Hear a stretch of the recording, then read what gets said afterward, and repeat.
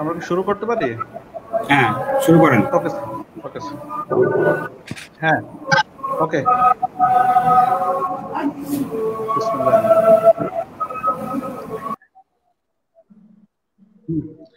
শুভ সন্ধ্যা সুপ্রিয় দর্শক। আপনাদেরকে আমন্ত্রণ জানাচ্ছি পিপিবি কর্তৃক আয়োজিত আজকে পোল্ট্রি আড্ডার ষষ্ঠতম পর্বে। আজকের পর্বের সঞ্চালনায় আছি আমি doctor Esanul Islam. Core team member হিসাবে। এছাড়া আজকে আমাদের পর্বে সম্মানিত তিনজন অতিথি উপস্থিত আছেন আমাদের সাথে। আমি এক এক করে তিনজন অতিথিকে আপনাদের সাথে পরিচয় করে দিতে চাই। প্রথমত আছেন professor doctor Mohammad Shamsuddoha sir, associate professor, department of management and marketing Illinois state university USA এবং চেয়ারম্যান নাহার গ্রুপ। দ্বিতীয়ত উপস্থিত আছেন জনাব কৃষিবিদ মোহাম্মদ আখতারুজ্জামান স্যার। তৃতীয়ত উপস্থিত আছেন কৃষিবিদ জনাব রফিক সরকার ভাই। অ্যাকচুয়ালি আমরা আজকের এমন একটা সময় বসেছি। জাস্ট একটা মিনিট আমি একটু কথা বলতে চাই। আপনারা জানেন ভেরি রিসেন্টলি আমাদের ভিতর থেকে আমাদের কোর্ট টিমের একজন মেম্বার নিশ্চিত কুমার মন্ডল দাদা চলে গেছেন আমাদের ভিতর থেকে। আসলে তার কারণে আমরা অনেকটাই শোক সংক্রান্ত অবস্থায় আছি। যদিও আমাদের প্রোগ্রামটা আগে ফিক্সড হয়ে গেছিল, আমরা এই বিষয়ে সরাসরি আমরা চলে যাচ্ছি আমাদের প্রথম অতিথি, প্রফেসর ডক্টর শামসুদ্দা স্যারের কাছে। আসসালামু আলাইকুম স্যার, কেমন আছেন? ওয়ালাইকুম সালাম, ভালো আছি। আপনারা সবাই ভালো? স্যার শামসুদ্দোহা স্যার কি শুনতে পাচ্ছেন আমাকে? হ্যাঁ আমি শুনতে পাচ্ছি। আপনি শুনতে পাচ্ছেন আমাকে? স্যার। হ্যালো। আমি কিন্তু ক্লিয়ার শুনছি আপনি শুনছেন না দশ স্যার কি শুনতে পাচ্ছেন আমাকে? শুনতে পাচ্ছি। আপনি শুনছেন?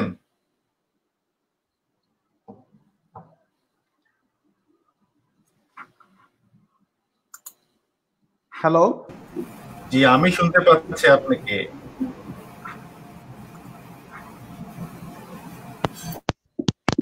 দশ স্যার কি শুনতে পাচ্ছেন আমাকে? আমি শুনতে পাচ্ছি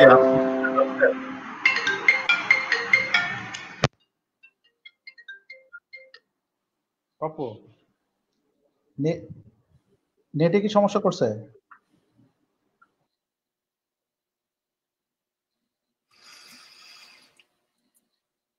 আমি ঠিক জানি না যে আপনারা শুনতে পাচ্ছেন কিনা আমাকে।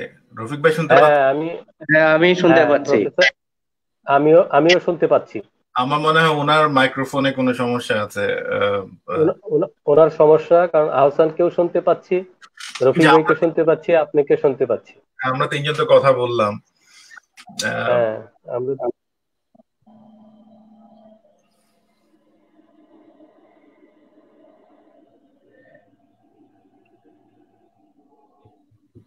নাকি আমরাই আলোচনা চালাই নিয়ে যাব? আমার মনে হয় আমরা মনে হয় হয়তো তাই।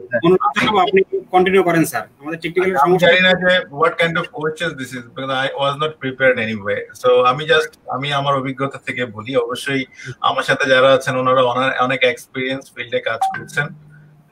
আমি খামার করা থেকে উঠে আসছি বলতে পারেন। সো এট দ্য সেম যদিও আমার প্রফেশন ভিন্ন এবং আমি সবসময় ডার্ক সাইডেই থাকি। বাট আমি যেটা বলতে আমি জানি না প্রশ্নটা কি করতেন সঞ্চালক। তবে আমি যেটা বলছি, আমি যেটা সাপ্লাই চেন নিয়ে কাজ করছি, আমার ডোমেইন হচ্ছে মার্কেটিং সেলস এবং খামার করার এক্সপিরিয়েন্স আছে। আপনারা জানেন যে নাহার যা যা আছে, সমস্ত কিছু আমার মাথায় আছে। তো এনিওয়ে তো সো আমি যেটা বলতে চাচ্ছি সাপ্লাই চেনের আসপেক্টে বলছি যে, এই যে করোনার পরবর্তী যে বাংলাদেশের যে এখন অবস্থা নট অনলি বাংলাদেশ এভরিওয়ার যেমন আপনারা আমেরিকার একটা গল্প শুনেছেন যে, প্রথমে টিস্যু পেপার টয়লেট রোল খালি হয়ে গেছে শেলফে কোনো টয়লেট রোল নাই, কোনো খাবার নাই, কিচ্ছু নাই। কিন্তু পরবর্তীতে দেখা গেল যে, কিছুদিনের মধ্যেই সেগুলো অতিরিক্ত, অর্থাৎ, একটা আইলের মধ্যে সুপার মার্কেটের যে একটা আইল থাকে নির্দিষ্ট আল থাকে এক একটা প্রোডাক্টের। এবং সে আলের সম্পূর্ণটা ফিল আপ করার পরেও এবং অতিরিক্ত ডিসপ্লেতে ছিল।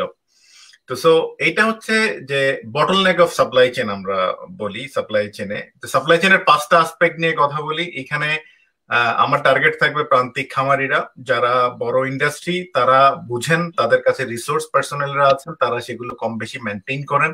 কারণ আমরা যেটা চিন্তা করি যে প্রান্তিক খামারে যদি বাঁচে, প্রান্তিক খামারে যদি প্রফিটটা যদি শেয়ারটা যদি ভালো একটা প্রফিট শেয়ার পায়, তাহলে বাংলাদেশে পোল্ট্রি ইন্ডাস্ট্রি টিকবে, না হলে টিকার কোনো সম্ভাবনা নাই। সেকেন্ড থিং হচ্ছে যে ভোক্তা, যে ভোক্তাদেরকে প্রশিক্ষিত করতে হবে, ভোক্তাদের অনেক ভুল ধারণা আছে, ভ্রান্ত ধারণা আছে।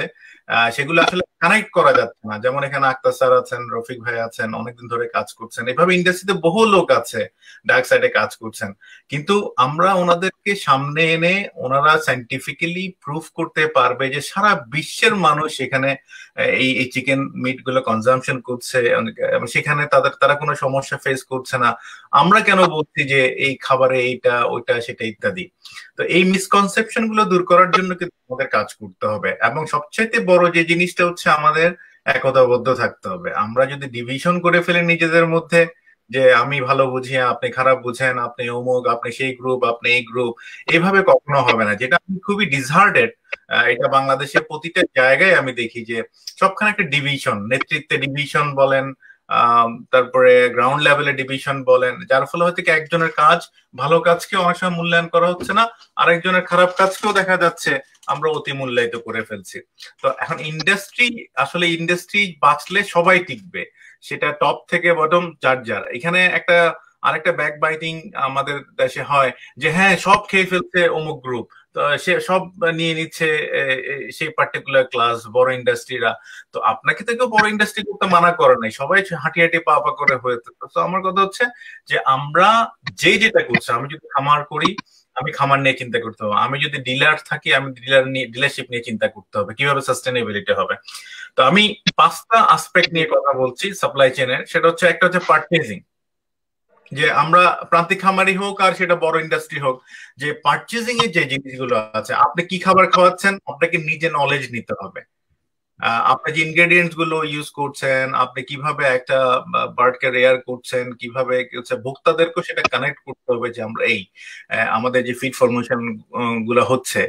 এখন এক্সেপশন যদি থাকে যে কেউ যদি স্ট্যান্ডার্ডের বাইরে স্যার আমি আরেকটা প্রশ্ন আরেকটা প্রশ্ন আছে আমার। জি বলেন। রাইট রাইট স্যার জি বলেন আমি শুনতে পাচ্ছি। আপনি শুনতে পাচ্ছেন না বোধহয় এখনও।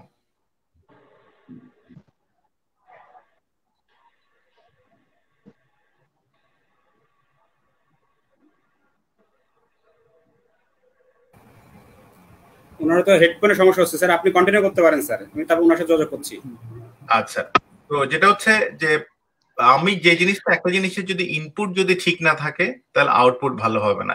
সেই জন্য আমরা সেই জন্য ইনপুট আউটপুটের যে থিওরি গুলো আছে সেখানে আমরা বলছি যে আপনি একটা ইন্ডাস্ট্রিকে একটা মুরগি কি খাওয়াচ্ছেন কি এনভায়রনমেন্ট দিচ্ছেন সমস্ত কিছু। এখানে বায়োসিকিউরিটির এখন একটা বড় বিষয় সবসময় আছে।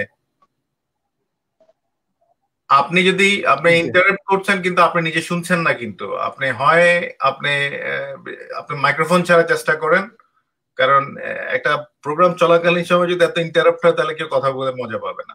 ভেরি সিম্পল সো এনিওয়ে তো আপনার যেটা অপারেশন এরপরে আপনি যেটা অপারেশন সেই অপারেশনটা আপনার ঠিক থাকতে হবে। অপারেশন মানে হচ্ছে যে খামার করছে, তিনি খামার এটা যেমন একটা খামার যদি, কেউ যদি আঠাইশ দিন মুরগিটা পালে সে আঠাইশ দিনে কি করবে? Every day every second every minute is a matter তো তাকে প্রশিক্ষিত করতে হবে। ওনার যদি সে নলেজটা না থাকে, সে নলেজটা ওনাকে নিতে হবে।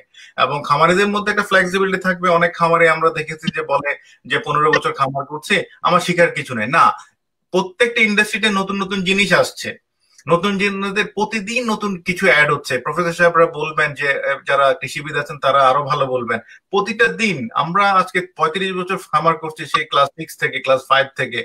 এখনও কিন্তু আমরা এই যে আমেরিকা ইউরোপ দৌড়াচ্ছি, কেন নতুন নতুন কি বের হচ্ছে, নতুন কি জেনেটিক্স বের হচ্ছে, নতুন কীভাবে কি হচ্ছে, এগুলো আমরা জানার চেষ্টা করি। আপনার নলেজ নেয়ার কোনো শেষ নাই। এই জায়গাটায় আমাদের একটু মনে হচ্ছে, একটু স্লত আমরা, যে আমরা মনে করি যে আমরা শিখে ফেলেছি ফরম্যাটটা আমরা সেখানে আর শিখার কিছু নাই।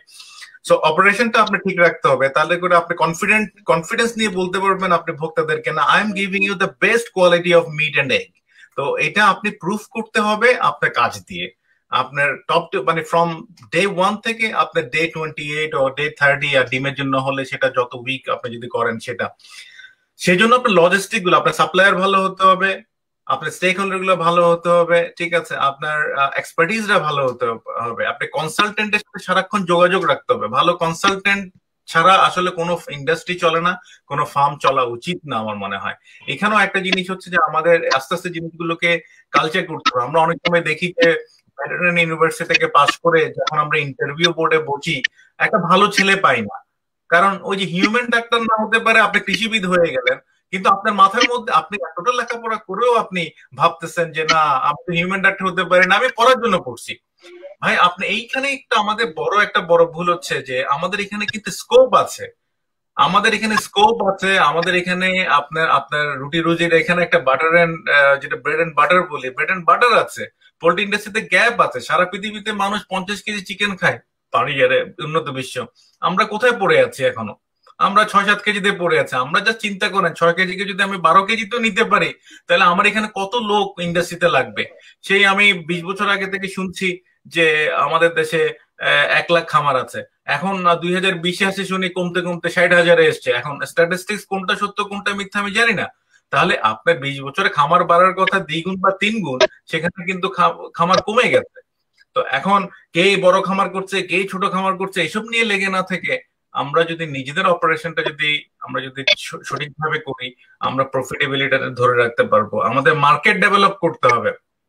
সবার একটা জিনিস হচ্ছে কি, আমরা এখন সবাই ছেড়ে দিচ্ছি যে না মার্কেট মার্কেটের উপরে। না মার্কেটের জন্য কাজ করতে হবে। আপনার মনে আছে যখন বার্ড ফ্লুর কারণে ডিম খাওয়া ছেড়ে দিল, মুরগি খাওয়া ছেড়ে দিল, তখন অনেক ক্যাম্পেইন করেছে আমরা বিভিন্ন জায়গায়। অনেক গ্রুপ ক্যাম্পেইন করেছে, অনেক পোলট্রি অ্যাসোসিয়েশন পোল্ট্রি রিলেটেড লোকজন ক্যাম্পেইন করেছে। ওই ক্যাম্পেইনগুলো কিন্তু হেল্প করেছে মানুষকে আন্ডারস্ট্যান্ড করার জন্য।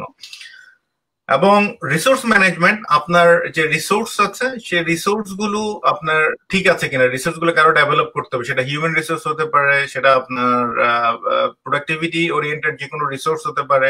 যেমন আপনার খামারটা ঠিক জায়গায় লোকেটেড কিনা, ঠিক এনভায়রনমেন্ট পাচ্ছে কিনা, ইত্যাদি সবকিছু কিন্তু আপনার জিনিসগুলো দেখতে হবে।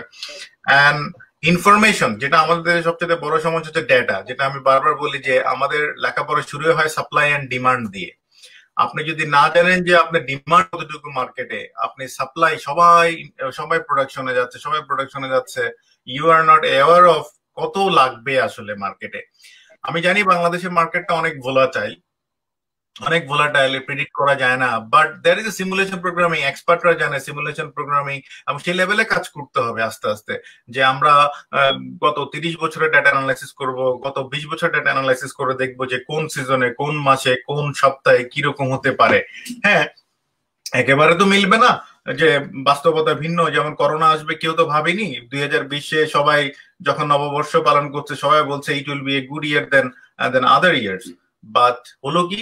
যে, এটা এমন একটা বছর হয়ে গেল যে একশো বছরে কেউ উইকনেস ছিল না যে এরকম একটা কিছু। তো সবকিছুর জন্য আমাদের প্রস্তুত থাকতে হবে। কিন্তু এর মধ্যে আমাদের প্রিডিকশন করতে হবে ফোরকাস্টিং করতে হবে তাতে করে আমরা জিনিস ডেটাটা অ্যাকুরেট হতে হবে। আমাদের দেশে সবচেয়ে বড় প্রবলেম হচ্ছে ডেটা যে আসলে আমরা জানি না যে কি হচ্ছে, কি হতে যাবে কত মাদার স্টক আমাদের রেয়ার করা উচিত, কতগুলো ব্রিডিং ফার্মের পারমিশন দেওয়া উচিত, কত স্কেলে দেওয়া উচিত, ইত্যাদি ইত্যাদি। অ্যান্ড দেন খামারি হলে যে কত মানে কোন সময়ে, কোন মাসে কীরকম ডিমান্ড থাকবে সেরকম একটা প্রিডিকশন দেওয়া যায় না। এলাকা ভিত্তিক প্রিডিকশন করতে হবে যে, ঠিক আছে, আপনি নোয়াখালী বেল্টে আছেন, আপনি রাজশাহী বেল্টে আছেন, আপনি খুলনা বেল্টে আছেন, এখানকার কি অবস্থা? তো সো সেভাবে জিনিসগুলোকে আমাদের চিন্তা করতে হবে। সাপ্লাই চেনের বটল নেকগুলো অবভিয়াসলি যেহেতু এটা পচনশীল জিনিস, এটাকে আপনি এমন ভাবে সাপ্লাইটা এনশিওর করতে হবে। যাতে করে আপনার এটা অন টাইমে যেমন করোনার সময় আমাকে বহু আমার আমার অ্যাসোসিয়েট লোকজন, আমার পরিচিত লোকজন লিখেছে, ভাই, আমি তো চিকেন পাচ্ছি না। আপনি বলছেন, আপনি লিখছেন যে খামারিরা মরে যাচ্ছে, খামারিরা বিক্রি করতে পারছে না। And there is a huge gap of supply chain connectivity যে কেন এই সময়? কারণ হচ্ছে আমরা প্রস্তুত ছিলাম না। আমরা ডোর টু ডোর সাপ্লাই দেওয়ার জন্য আমাদের নেটওয়ার্কিং ছিল না। তো সো আমরা লাইভ বার্ডকে আমরা ডিসকারেজ করা উচিত। আমরা প্রসেস বার্ডকে আমরা এনকারেজ করা উচিত, তাতে করে আরও ইন্ডাস্ট্রি গ্রো করবে, আরও লোক এখানে কাজ করতে পারবে। ভ্যালুয়েডেশনের উপর কাজ করা উচিত, যে ঠিক আছে, যে আমরা এখনও সেই ট্রেডিশনাল মেন্টালিটি পৃথিবীর কোথাও এটা না, এটা ডিজিজ লোড করে। যেমন আজকে করোনা আসার পিছনেও কিন্তু এই লাইভ মার্কেট গুলোই দেয়। তো সো আমরা চেষ্টা করব, আমরা বোঝার চেষ্টা করব, সেটা ভোক্তা হোক, আমরা প্রসেসর হই বা আমরা এনি স্টেক হোল্ডার হই, আমরা চেষ্টা করব যে এই এই প্রসেস থেকে আমরা বেরিয়ে আসতে, যাতে করে আমরা একটা হাইজিন এনভায়রনমেন্টে থাকতে পারি। এখানে অনেক কথা বলার আছে আসলে। আমি জানি না আমার সাথে অন্য গেস্টরা আমি আমাকেই দেখতে পাচ্ছি। সো আমি কন্টিনিউ করতে পারি বাট আপনারা যদি যদি আমার মনে হয় যে আমি শুধু বললে তো আর হবে না তো রফিক ভাই এবং আক্তার ভাই কেউ একজন শুরু করেন সঞ্চালক নিজেই আমাদের কথা শুনতে পাচ্ছেন ধন্যবাদ। স্যার। স্যার আমি একটু আপনাকে ধন্যবাদ জানাচ্ছি। আসলে অনেক সুন্দর সুন্দর কথা বলেছেন। তো অনেক কথার প্রশ্ন কিন্তু, উত্তর কিন্তু আপনার মাধ্যমে কিন্তু বেরিয়ে আসছে, যেগুলো সাধারণত আমাদের খামারিরা বা আমাদের পোল্ট্রি উদ্যোক্তারা কিন্তু জানার জন্য আজকের প্রোগ্রামে ওয়েট করছিল। তো আমি আসলে রবিক স্যারের কাছে একটু যেতে চাই যে দীর্ঘদিন আপনারা এই লাইনে পোল্ট্রি সেক্টর নিয়ে কাজ করছেন বা এই বিষয়গুলো আপনাদের চোখের সামনে দিয়ে বড় হচ্ছে। তো আসলে পোল্ট্রি, এই যে আমাদের আজকে যে আলোচনার আলোচ্য বিষয়, যে রোড ম্যাপ বা ঘাটতি বা এটা নিয়ে আসলে আপনি কীভাবে চিন্তা করছেন বা সামনের দিনগুলোতে আমরা কীভাবে এটাকে সামনে ইমপ্লিমেন্টেশন করতে পারি? আপনার অ্যাঙ্গেল থেকে যদি আপনি একটু আলোচনা করতেন। ওকে ইউ আজকের সবাইকে স্বাগতম। আর আমাদের জন্য এটা সুযোগ হলো, অনেকদিন পর আমি বা শামসুদ্দোহা সাহেবের সাথে কথা বলতে পারছি। আক্তার ভাইয়ের সাথে অনেকদিন দেখা হয় না। দেখ এটা একটা সুযোগ হলো আজকের। আর আপনার কথার আমি আসলে দোহা সাহেবের কাছ থেকে শুরু করব। সেটা হলো উনি কতগুলো সাপ্লাই চেনের কতগুলো জায়গা দেখেছেন। দেখেছেন ওই জায়গাগুলো থেকে যদি আমরা বেরোয় আসতে পারি, তাহলে অবশ্যই পোলট্রি সেক্টরের একটা উন্নতি হবে। কিন্তু সেটার সাথে আমি জাস্ট একটু অ্যাড করব।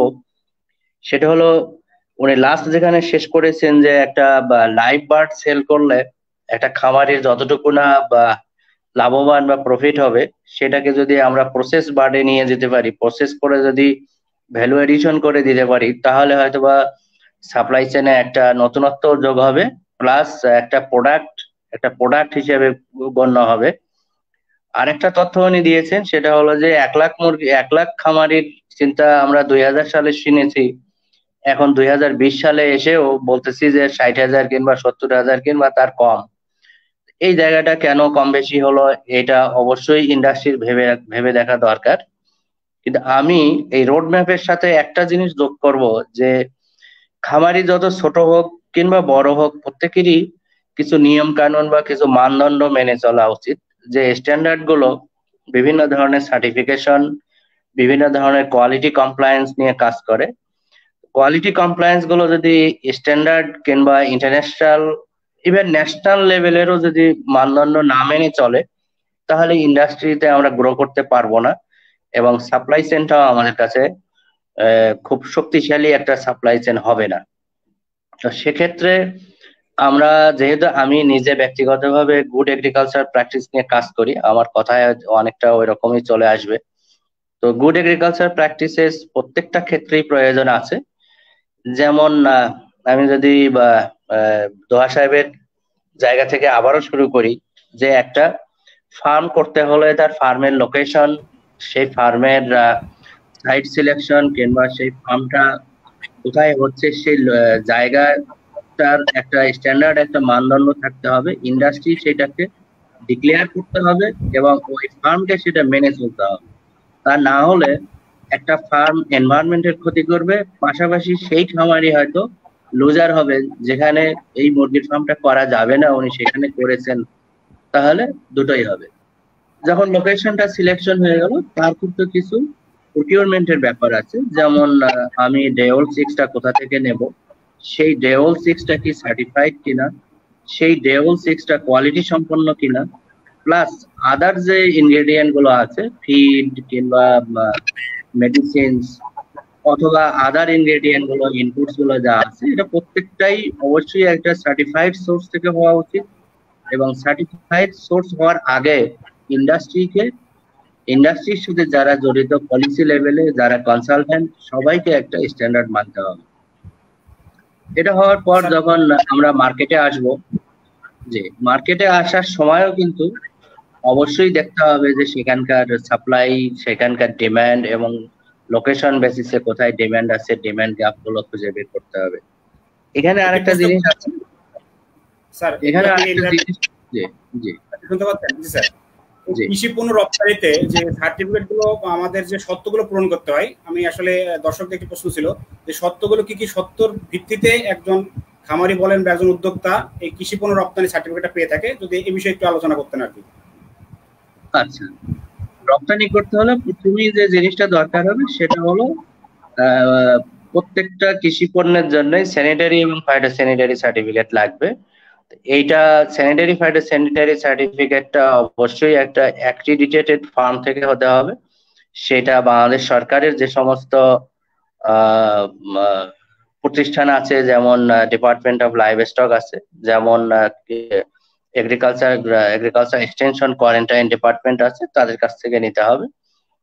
প্লাস এই ধরনের সার্টিফিকেট নেওয়া, শুধু সার্টিফিকেট নিলেই হবে না, আজকাল নতুনত্ব যোগ হয়েছে, সেটা হলো ট্রেসেবিলিটি সার্টিফিকেট থাকতে হবে। ট্রেসেবিলিটি সাধারণত আমরা ISO twenty two thousand certificate থেকে পেয়ে থাকি, ওই ধরনের সার্টিফিকেট থাকা ভালো। আরেকটা হলো যে, আমরা যে সমস্ত কেমিক্যালস দেব, প্রত্যেকটা কেমিক্যালস এর একটা ম্যাক্সিমাম রেসিডুয়াল লিমিট থাকে, সেই লিমিটটা কখনোই যেন লিমিটটা ক্রস না করে। এই জন্য একটা সার্টিফিকেশন বিএসটিআই কিংবা বাংলাদেশ সেফ ফুড অথরিটি তারা দেয় না এখনও এখনও অ্যাফিলিয়েট হয়নি। এটা থাকতে হয়। এডিশনালি কোনো ফার্ম যদি মনে করে যে হ্যাঁ আমি এক্সপোর্ট করব, তাহলে তার অবশ্যই এইচএসিসিপি কিংবা জিএমপি জিএইচপি এই ধরনের সার্টিফিকেটগুলো তাদের প্রয়োজন হয়। তো এই এইচএসিসিপি সার্টিফিকেটগুলো নেওয়ার আগে প্রত্যেকটা ফার্মকে তার ক্রিটিক্যাল কন্ট্রোল পয়েন্টের জায়গাগুলো খুঁজে বের করতে হবে এবং ক্রিটিক্যাল কন্ট্রোল পয়েন্টের জায়গাগুলোতে কীভাবে সলিউশন হবে এটার একটা স্ট্যান্ডার্ড তৈরি করতে হবে এবং প্রত্যেকটা কোম্পানির জন্য এই সিসিপি ডিফারেন্ট হবে। এই সিসিপি ডিফারেন্ট হওয়ার জন্য যে রেমিডি গুলো সলিউশনগুলো আছে, সেগুলো তাকে মেজার করতে হবে এবং একটা ম্যানুয়াল থাকতে হবে। প্রত্যেকটা স্টেপের প্রোটোকলগুলো যখন স্বচ্ছতার মধ্যে আসবে, মেনে চলবে, তখনই এটা এক্সপোর্ট করা যেতে পারে। আর আমরা সবাই শুনে শুনেছি বা জানি যেটা যে good agricultural practice gap gap maintain করাটা শুধুমাত্র পোলট্রির ক্ষেত্রে না সকল এগ্রিকালচারাল পণ্য যত আছে লাইভ স্টক অ্যাকুয়াকালচার তাদের সেই গ্যাপ মেনটেন করতে হবে। বাংলাদেশ সরকারের রিসেন্টলি লোকাল গ্যাপ বা বাংলা গ্যাপ এ নামে একটা পলিসি ডেভেলপ করেছে, এখনও সবার কাছে আসেনি। এটা, এই গ্যাপ মেনটেন করতে হবে এবং গ্যাপ মেনটেন করলে আশা করা যায় যে এক্সপোর্ট করার সম্ভাবনা আছে। অধিকন্ত, আপনার যদি গ্লোবাল গ্যাপ সার্টিফিকেট থাকে গ্লোবাল গ্যাপ সার্টিফিকেট থাকলে, এটা নিশ্চিত বলা যাবে না। আশা করা যায় যে সেই প্রোডাক্টটা অনেকটাই কিছু প্রিন্সিপালস কিছু স্ট্যান্ডার্ড মেনটেন করে উৎপাদন করা হয়েছে প্রসেসিং করা হয়েছে, এবং পোস্ট হারভেস্ট ম্যানেজমেন্ট করা হয়েছে। এগুলি যদি সম্পূর্ণভাবে সেট করা হয়, তাহলে হয়তোবা প্রোডাক্টটা এক্সপোর্ট করা যেতে পারে। প্রোডাক্টটা এক্সপোর্ট করার গ্লোবাল গ্যাপ সার্টিফিকেট নেওয়ার ক্ষেত্রে প্রত্যেকটা সেক্টরের আলাদা আলাদা নিয়ম কানুন আলাদা আলাদা ক্রিটিক্যাল কন্ট্রোল পয়েন্ট আছে। যেমন গ্লোবাল গ্যাপ তিনটা সেক্টরে সার্টিফিকেট দিয়ে থাকে। একটা হলো ক্রপ ক্রপ বলতে আমরা এগ্রিকালচারাল ফ্রুটস ভেজিটেবলস টি এগুলি বুঝি। অ্যাকোয়াকালচারে আছে যেমন ফিশ ফিশারিজ আর লাইভ স্টককে চারটা ভাগে ভাগ করা হয়েছে। একটা হচ্ছে ক্যাটেল ক্যাটেলের মধ্যে ডেইরি এবং বিফকে আলাদা করা হয়েছে। পোলট্রি আলাদা করা হয়েছে এবং টার্কি যদি আমরা পোলট্রি প্রসেসিং এ যাই, তাহলে এই পোলট্রি প্রসেসিং এর সার্টিফিকেট নিতে গেলে তার প্রায় দুইশো দুইশোর বেশি একশো চৌষট্টিটা ক্রিটিক্যাল কন্ট্রোল পয়েন্ট আছে। একশো চৌষট্টিটা ক্রিটিক্যাল কন্ট্রোল পয়েন্টের মধ্যে যেটা বেশি দেখা হয় সেটা হচ্ছে ফুড সেফটি ইস্যু ফুড সেফটির যে নিয়ম কানুনগুলো আছে ফুড সেফটির যে পলিসি গুলো আছে, এখানে চুয়াল্লিশটা ক্রিটিক্যাল কন্ট্রোল পয়েন্ট আছে। তারপর দেখা হয় ট্রেসেবিলিটি তারপর অ্যানিমেল ওয়েলফেয়ার যে অ্যানিমেল বা যে পোলট্রিটার জন্য আমরা করতেছি, সেই পোলট্রিটা কি এনভায়রনমেন্টের ক্ষতি করতেছে? সে সঠিকভাবে লালন পালন হচ্ছে কিনা? সেখানে গুড এগ্রিকালচার প্র্যাকটিসগুলো ফলো করা হচ্ছে কিনা? ইভেন এখানে যে ওয়ার্কাররা কাজ করবেন, তাদের ওয়ার্কার্স হেলথ সেফটি অকুপেশনাল হ্যাজার্ডগুলো ঠিক মতো করা আছে কিনা? এগুলো দেখেই যখন গ্লোবাল গ্যাস সার্টিফিকেট দেওয়া হয় তখন ধরে নেওয়া হয় যে প্রোডাক্টটা ট্রেসেবল প্রোডাক্টটা এনভায়রনমেন্টালি সাস্টেইনেবল এবং সেফ ফর হিউম্যান কনজামশন এটা আমি বলব যে এটা ম্যান্ডেটরি না, এটা একটা ভলান্টারি সার্টিফিকেশন যে সার্টিফিকেশনটা দিলে অ্যাটলিস্ট ইউরোপিয়ান এবং আমেরিকান মার্কেটে যাওয়ার সুযোগ আছে। আর এক্সপোর্টের ক্ষেত্রে আমি যদি পোলট্রি বলি পোলট্রিতে হালাল একটা ভালো সার্টিফিকেশন হালাল সার্টিফিকেট থাকা ভালো। অনেক কান্ট্রিতে বলা হয় যে হালাল সার্টিফিকেট থাকলে প্রোডাক্টটা সেফ বা প্রোডাক্টটা হাইজিন স্যানিটেশন মেনটেন করা করা হয়েছে অ্যাটলিস্ট এটার একটা গুরুত্ব আছে। তারপর বললাম যে এইচএসসিসিপি সার্টিফিকেট প্রসেসিং লেভেলে গেলে অবশ্যই লাগবে।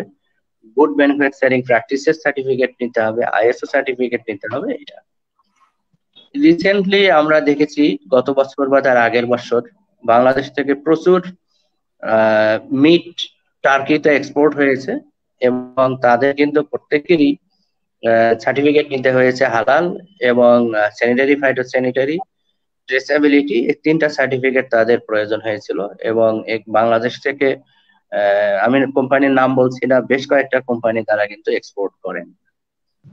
এখনও করতেছেন এগুলি মোটামুটি ফলো করতে হয় কোনো যে কোনো ধরনের এক্সপোর্ট করতে গেলে। আর এক্সপোর্ট ইজ এ জার্নি এটা কন্টিনিউয়াস ইমপ্রুভমেন্টে থাকতে হবে। বাইরের রিকোয়ারমেন্ট কি, এটা জানতে হবে। মোস্টলি যে ইম্পোর্টার তার কাছ থেকে জানতে হবে যে তার রিকোয়ারমেন্টটা কি। উনি কি ধরনের সার্টিফিকেশন চাচ্ছেন, এটা হলো প্রথমত। আর বাংলাদেশ গভর্নমেন্টের কিছু নিয়ম কানুন আছে। এক্সপোর্ট করতে গেলে অবশ্যই ওই কোম্পানির ইআরসি থাকতে হবে এক্সপোর্ট রেজিস্ট্রেশন সার্টিফিকেট থাকতে হবে, তার ট্রেড লাইসেন্স লাগবে, তার কোম্পানির ভ্যাট ট্যাক্স এই সমস্ত সার্টিফিকেশন না হলে কখনোই এক্সপোর্ট করা যাবে না। এ ধরনের কিছু নিয়ম কানুন আছে যেটা ইউনিভার্সালি সব প্রোডাক্টের জন্যই, শুধুমাত্র কিংবা আর চ্যালেঞ্জের বিষয় তো অনেক আছে চ্যালেঞ্জের মধ্যে বড় চ্যালেঞ্জ হলো কোয়ালিটি মেনটেন করা। নেক্সট চ্যালেঞ্জ হলো ট্রেসেবিলিটি দেখা। যে প্রোডাক্টটা আসলো, সেই প্রোডাক্ট কোন ফার্ম থেকে শুরু হলো এবং ফাইনাল এন্ড কনজিউমার পর্যন্ত কার কাছে যাচ্ছে, এই ধরনের ডকুমেন্টেশন থাকতে হবে। এবং যে কোনো সময়, যে কোনো জায়গায় সেটা যেন ট্রেস করা যায় নন কমপ্লায়েন্স প্রোডাক্ট যেন ভালো আইডেন্টিফাই করা যায়। এই জিনিসগুলো থাকলে মোটামুটি এক্সপোর্ট করা যায়। আর সম্ভাবনার জিনিসগুলো আমি বলব যে এই কোভিড নাইন্টিন হওয়ার আগেই বা তার পরে থেকেই মানুষ কিন্তু চাচ্ছে একটা সেফ প্রোডাক্ট কনজিউম করতে। সেফ প্রোডাক্টের যথেষ্ট ভালো মার্কেট আছে। বাংলাদেশের পোলট্রি সেক্টর যদি হাইজিন স্যানিটেশন এবং গুড এগ্রিকালচার প্র্যাকটিস মেনটেন করে, তাহলে অবশ্যই এটার এক্সপোর্ট করা যাবে। কিন্তু চ্যালেঞ্জের একটা বিষয় হলো লোকাল মার্কেটও কিন্তু অনেক বড় একটা মার্কেট লোকালি কিন্তু আমরা ভালো মানের প্রসেস প্রোডাক্ট পাচ্ছি না। কিন্তু আরেকটা চ্যালেঞ্জও আছে এখানে, সেটা হলো যে কনজিউমারদের অ্যাওয়ারনেস নাই। কনজিউমার বাংলাদেশের কনজিউমাররা এতটাই প্রাইস সেন্সিটিভ যে একটা ভালো প্রোডাক্ট দিতে গেলে কিন্তু তার পিছনে সার্টিফিকেশনের প্রয়োজন হলে কিছু খরচ বা কিছু এক্সট্রা এডিশনাল কস্ট যোগ হতে পারে। কিন্তু যখন একজন বায়ার কনজিউমার বাজারে কিনতে যায় উনি কিন্তু দেখেন যে কোন প্রোডাক্টটা আমি কম দামে পাবো। একটা প্রসেস প্রোডাক্ট বা একটা কোয়ালিটি প্রোডাক্টের একটু দাম বেশি হতে পারে সেই জায়গাতে কিন্তু অনেক কনজিউমার মনে রাখে না। বলার সময় তারা ঠিকই বলেন যে আমার ভালো প্রোডাক্ট দরকার কিন্তু দাম দেওয়ার সময় তারা দিতে চান না। আর একটা আছে মিসকনসেপশন যে আমি এই পর্যন্তই রাখি পর আক্তার ভাই বা অন্য আরও যারা আছেন আলাপ করতে পারবেন। এমনি যদি কারও কোনো প্রশ্ন থাকে পরে আলাপ করে যাবে ধন্যবাদ স্যার আপনার সুন্দর সুন্দর তথ্য উপস্থাপনের জন্য। এক্ষেত্রে আমরা এখন আমাদের আরেকজন অতিথি কৃষিবিদ আক্তারুজ্জামান স্যারের কাছে যাব আমরা। তো স্যারের কাছে যাওয়ার প্রথমে একটু জানতে চাই যে এই যে বিপণন ব্যবস্থা বা দক্ষতা উন্নয়ন এক্ষেত্রে বাংলাদেশ কতটুকু পিছিয়ে আছে? এই ক্ষেত্রে কাজ করতে গেলে আমরা কি করতে পারি? কৃষিবিদ আক্তারুজ্জামান স্যার যদি আপনি আমাদের সাথে একটু শেয়ার করতেন আপনার অভিজ্ঞতাগুলো। জি। ধন্যবাদ ডক্টর মোহাম্মদ মুস্তাফিজুর রহমান, পাপ্পু। তোমাকে অশেষ ধন্যবাদ। আমি প্রথমে দোয়া সাহেবকে ধন্যবাদ জানাই। দোয়া সাহেবের বক্তব্য আমি আগেও শুনেছি। উনি মার্কেটিং স্পেশালিস্ট অনেক দিক নির্দেশনামূলক কথা বলছেন। রফিক ভাইও আমার খুব পূর্ব পরিচিত। কথা বলছেন যে মার্কেটেরই একটা স্বপ্ন, যেটা এক্সপোর্ট মার্কেট আমি বলতে চাই আমাদের পূর্ববর্তী দুজন বক্তাকে শ্রদ্ধার সহিত তার বিষয়গুলোকে স্মরণ করে, আসলে বাংলাদেশ পোলট্রি সেক্টরে একটা ঈর্ষণীয় সাফল্য দেখাইছে। আমরা কিন্তু গ্লোবালি একটা বিবেচ্য দেশ হিসাবে পরিচিত পোলট্রি সেক্টরে। স্বপ্নটা কিন্তু এখানে অনেকটাই আমাদের বাস্তবায়িত হয়েছে। কেন তার কারণগুলো হলো দক্ষতা উন্নয়নের ক্ষেত্রে এই সেক্টরে আমি যখন আমার যৌবনের কথা চিন্তা করি, তখন কিন্তু চাকরির জন্য ঘুরেছি। ওইভাবে এত প্রতিষ্ঠান ছিল না। হ্যাঁ উষা হ্যাচারির মালিক বললেন যে, আপনি কি করবেন? সাভারে গিয়ে দেখি জঙ্গলের ভিতরে কাজ করতে হবে, একটু ডিমোরালাইজ হয়ে গেলাম। আজকে এই সেক্টরে চাকরি নেওয়ার জন্য আমাদের মতো প্রফেশনালরা নিজেই আগ্রহ দেখায়। এবং সোসাইটিতে আমাদের গ্রহণযোগ্যতা বাড়ছে। গ্রহণযোগ্যতা বাড়ছে কি কারণে? আমাদের দক্ষতা আমরা এই সেক্টরে দিয়ে প্রমাণ করতে পারছি যে আমরা কিন্তু পারি। এখন প্রশ্ন হইল, আমরা যেহেতু এত পারি, তাহলে আমাদের পণ্যগুলো বিপণনে বাধাগ্রস্ত কেন? উৎপাদন দক্ষতা আমি বলব, বাংলাদেশ একটি পোলট্রি সেক্টরের রোল মডেল কেন? কোয়ালিটি সম্পন্ন খাদ্য তৈরি করার মতো কোম্পানি দাঁড়িয়ে গেছে, যাদেরকে গ্লোবালি ঈর্ষা করার মতো প্রতিষ্ঠান তারা। কোয়ালিটি ফার্ম হয়ে গেছে। ফার্ম বলতে আমি বলাবো এখানে যে গ্যারেন, গ্র্যান্ড প্যারেন্ট স্টক ফার্ম, যেটা এসওপি মেনটেন করতেছে international standard they can export their dog to any country they can challenge it তারা চ্যালেঞ্জ করতে পারে। এত কোয়ালিটি সম্পন্ন ডক করতেছে পিএস প্যারেন্ট স্টক করতেছে। এই parent স্টকগুলোর market share Bangladeshi breeder farm নিয়েছে। এটা কিন্তু দক্ষতার জন্য হয়েছে। আমি দেখেন, আমি কিন্তু ডলার সেভ করতে পারছি। আমি তো আগে সব বাচ্চাই নিয়ে আসতাম বিদেশ থেকে। এখানে দোয়া সাহেব আমেরিকায় আছে, জানে? সমস্ত বাচ্চা আসতো বিভিন্ন দেশ থেকে। আমরা কিন্তু এখন নিজের দেশে উৎপাদন করতে পারছি এর প্রমাণ হলো আমাদের দক্ষতায় আমরা এখন রোল মডেল আচ্ছা এখন আসেন দ্বিতীয় প্রশ্ন। দ্বিতীয় প্রশ্ন হলো যে তাহলে এত কথা কেন এই সেক্টর নিয়ে? কথা হলো প্যারেন্ট স্টক যারা পালতেছেন, তারা অনেক রিস্ক নিচ্ছেন। এই রিস্কগুলো কিন্তু জেনারেল লোক, খামারি জানছে না। একটা ব্রিডার ফার্মের ভিতরে যে অনেক, এই কষ্টের কথা আছে, এগুলো কিন্তু জানে না। আজকে এই করোনার সময় কিন্তু তাদের অনেক কষ্টের কথা আছে। বাচ্চার দাম এত নিচে চলে গেছে, তাদের তো ইনভেস্ট এইটা। তাদের তো বাচ্চার, দেখেন, আমরা আগে একটা বলতাম যে বাচ্চার দাম বেশি এই জন্য খামারিরা বাচ্চা তুলে না। এখন বাচ্চার দাম কই? তাই তুলে না তো। মানুষকে খাওয়া বন্ধ করছে? করে নাই। তাহলে কেন সেক্টরে এত ব্যথা? সেক্টরে এত কথা। কথা হলো যে, একটা টায়ারে হইল দক্ষতা অর্জন হয়েছে ইন্টারন্যাশনাল স্ট্যান্ডার্ডে দে আর মেনটেনিং এসওপি আপনি এটাকে অবশ্যই ভালো বলবেন। পরের স্টেজ যেটা, ওই যে আমি বাচ্চা তৈরি করে দিলাম, ওই বাচ্চার মধ্যে কোয়ালিটিতে একটু ডিফার করে। কেন? সব সময় মুরগিগুলো একটা জড় পদার্থের মতো একই রকম ভাবে তার উৎপাদন দক্ষতা দিবে না। তারও অসুখ বিসুখ আছে। ওই কারণে খামারে যখন বাচ্চা যায় খামারি যখন আসল ফিনিশড প্রোডাক্ট তৈরি করবে, খামারির দক্ষতার অভাব আছে। খামারির দক্ষতার অভাব আছে কেন? আমরা যারা প্রফেশনাল দুর্বলতা আমাদেরই, আমরা কিন্তু তাদের সাথে ওইভাবে মিশতে পারিনি। ওইভাবে তাদেরকে সৎ উপদেশ দিয়ে তাদেরকে একটা এসুপুতে ফেলে স্ট্যান্ডার্ড প্রক্রিয়ায় নিয়ে আসতে পারিনি। দক্ষ এখানে। এইটা নেওয়ার জন্য আমি মনে করি পাবলিক প্রাইভেট পার্টনারশিপে এটা করতে হবে। আমি দোয়া সাহেবকে ধন্যবাদ জানাই এবং রফিক ভাইকেও ধন্যবাদ জানাই। আমি চিন্তা করতেছিলাম তারা ওই কথাটা বলে কিনা যে জ্ঞান চলমান knowledge must be upgraded it cannot be stereotype আমার যা আছে পনেরো বছর ধরে খামার করি, এইটাই থাকলে হবে না। এটা এটা চেঞ্জ করতে হবে। তাহলে এই চেঞ্জ করানোর জন্য চেঞ্জ মেকার কে হবে?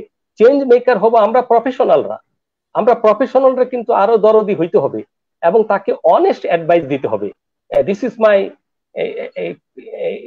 final tips যে অনেস্ট অ্যাডভাইস অনেস্ট অ্যাডভাইস দিবে কেন? একটা খামারি, সে তো একবারে এইটা সম্বন্ধে বলা চলে, আমার জ্ঞানের সাথে তুলনা করলে অজ্ঞ।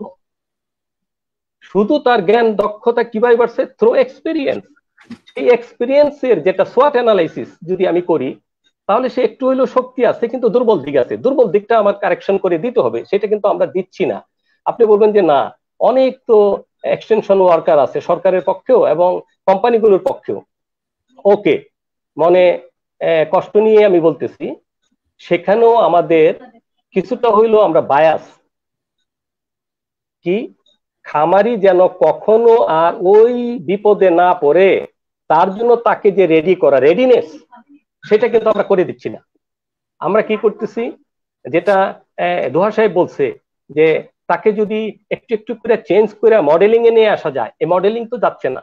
আমরা কি আদর্শ খামারের দিকে তাদেরকে আনতে পারতেছি পারতেছি না। তারা খামার পরিচালনা করে তখনই আজকের আলোচনার মূল বিষয়ের সাথে মুরগির দাম কত? এখন একশো বিশ টাকা বিক্রি করা যায়। এই বাচ্চা তুলো। তাহলে তারা এখানে চালিকা শক্তি কি ধরতেছে? দাম। Price is not a factor আপনি মর্টালিটি কমান, আপনি মেডিসিনাল কস্ট কমান, আপনি আননেসেসারি কস্ট কমান, আপনি এটাকে বিজনেস ডেভেলপমেন্ট কনসেপ্ট যে ফিজিবিলিটি সেটা করে দেখেন কোথায় কোথায় আপনার দুর্বলতা। ওই জায়গাগুলোতে কিন্তু আমরা তাদেরকে টিপস দিতেছি না। তবে আমাদের যে পিপিবি তারা কিন্তু লিঙ্ক করতেছে ওদের ভবিষ্যতে এরকম হবে। আর যারা ঝরে যাওয়ার, ঝরে যাবেই। অলরেডি ঝরে যাচ্ছেও। আজকে দোয়া সাহেবের সাথে আমি একমত। এক লাখ বিশ হাজারের রেকর্ডেড খামারের কথা বলা হয়েছিল, সেগুলো কিন্তু কমে এখন এইটটি আর এইটটি ফাইভ হবে। অথবা আপনি যেটা বলছেন যে সিক্সটি থাউজেন্ড ষাট হাজারের মতো, সেরকম হইতে পারে। কিন্তু বলবেন যে তাহলে মুরগির সাপ্লাই হচ্ছে কীভাবে? আসলে ইন্টিগ্রেটর দাঁড়িয়ে গেছে। বিগ যারা, তারা প্রোডাকশনে চলে গেছে। এবং তারা প্রোডাকশনে যাইতেছে, আজকে রফিক ভাইয়ের সাথে আমি একমত। রফিক ভাই যে গ্লোবাল গ্যাপের কথা বলছে that is very very standard কিসের জন্য? আমি যদি মেইন স্ট্রিম মার্কেটে এক্সপোর্ট করতে চাই, আমি এখনও মেইন স্ট্রিম মার্কেটে এক্সপোর্ট করতে পারব না, আমি সেই সক্ষমতায় যাইনি, কেন আমার খামারি লেভেলে ভলিউম ওরিয়েন্টেড প্রোডাক্ট যে হবে, সেখানে এসওপিটা ঠিক করা নাই। এক একজন এক এক রকম করবে, হবে না। তাহলে কি হবে? অন্তত আমি এথনিক মার্কেটে যাইতে পারব। সেইটার পজিটিভ দিক কি? পজিটিভ দিক হইল হালাল সার্টিফিকেশন আমি রফিক ভাইয়ের সাথে একবারে সংক্ষিপ্ত আকারে যে কথাগুলো উনি বলছে, যে sanitary and phytosanitary very important আসলে এইটা দিয়ে কিন্তু কৃষি পণ্যের অনেক কিছুই যাচ্ছে, অনেক দেশে যাচ্ছে। আমি নিজেও দেখছি গিয়ে তারা কীভাবে এটা দিচ্ছে, কিন্তু আমার পোলট্রি কেন যাবে না? আমার হলো sanitary and phytosanitary certificate দেওয়ার বডি এখনও ওইভাবে রেডি না। কে দিবে? আমাকে যাইতে হবে সেই ওই এগ্রিকালচার এক্সটেনশন ডিপার্টমেন্টে আমার তো ডিএলএস ওইভাবে রেডি হয় নাই। তো বিএসটিআই সে দায়িত্ব নিতে চায় না। বাংলাদেশ ফুড সেফটি অথরিটি সে একটু একটু করে আগাচ্ছে এসওপির ক্ষেত্রে। কিন্তু সে তো সার্টিফিকেট দিতে পারতেছে তাহলে সার্টিফিকেটটা আমার এগ্রিকালচার মিনিস্ট্রি থেকে হইলেও কারও না কারও সহায়তায় নিতে হবে। অর ডিএলএস কে রেডি করতে হবে যাতে এটা দিতে পারে। সেটার জন্য সেইভাবে তাদেরকে তৈরি হইতে হবে। দ্বিতীয় হলো যে আমি স্বপ্ন দেখি এইভাবে বড়রা কিন্তু রেডি হয়ে গেছে। রেডি হইতে পারতেছে কেন? যে বড় নিজে ফিড তৈরি করবে। It should be dedicated feed এই ফিডই সে খাওয়াবে মুরগিকে। বাচ্চা তৈরি করবে। বাচ্চাও সে dedicated dedicated for export market তাহলে তার বাচ্চা, তার খাদ্য, তার প্রফেশনাল লালন পালন করতেছে। Then it will be slaughtered in হালালুই হালালুইতে জবাই হবে।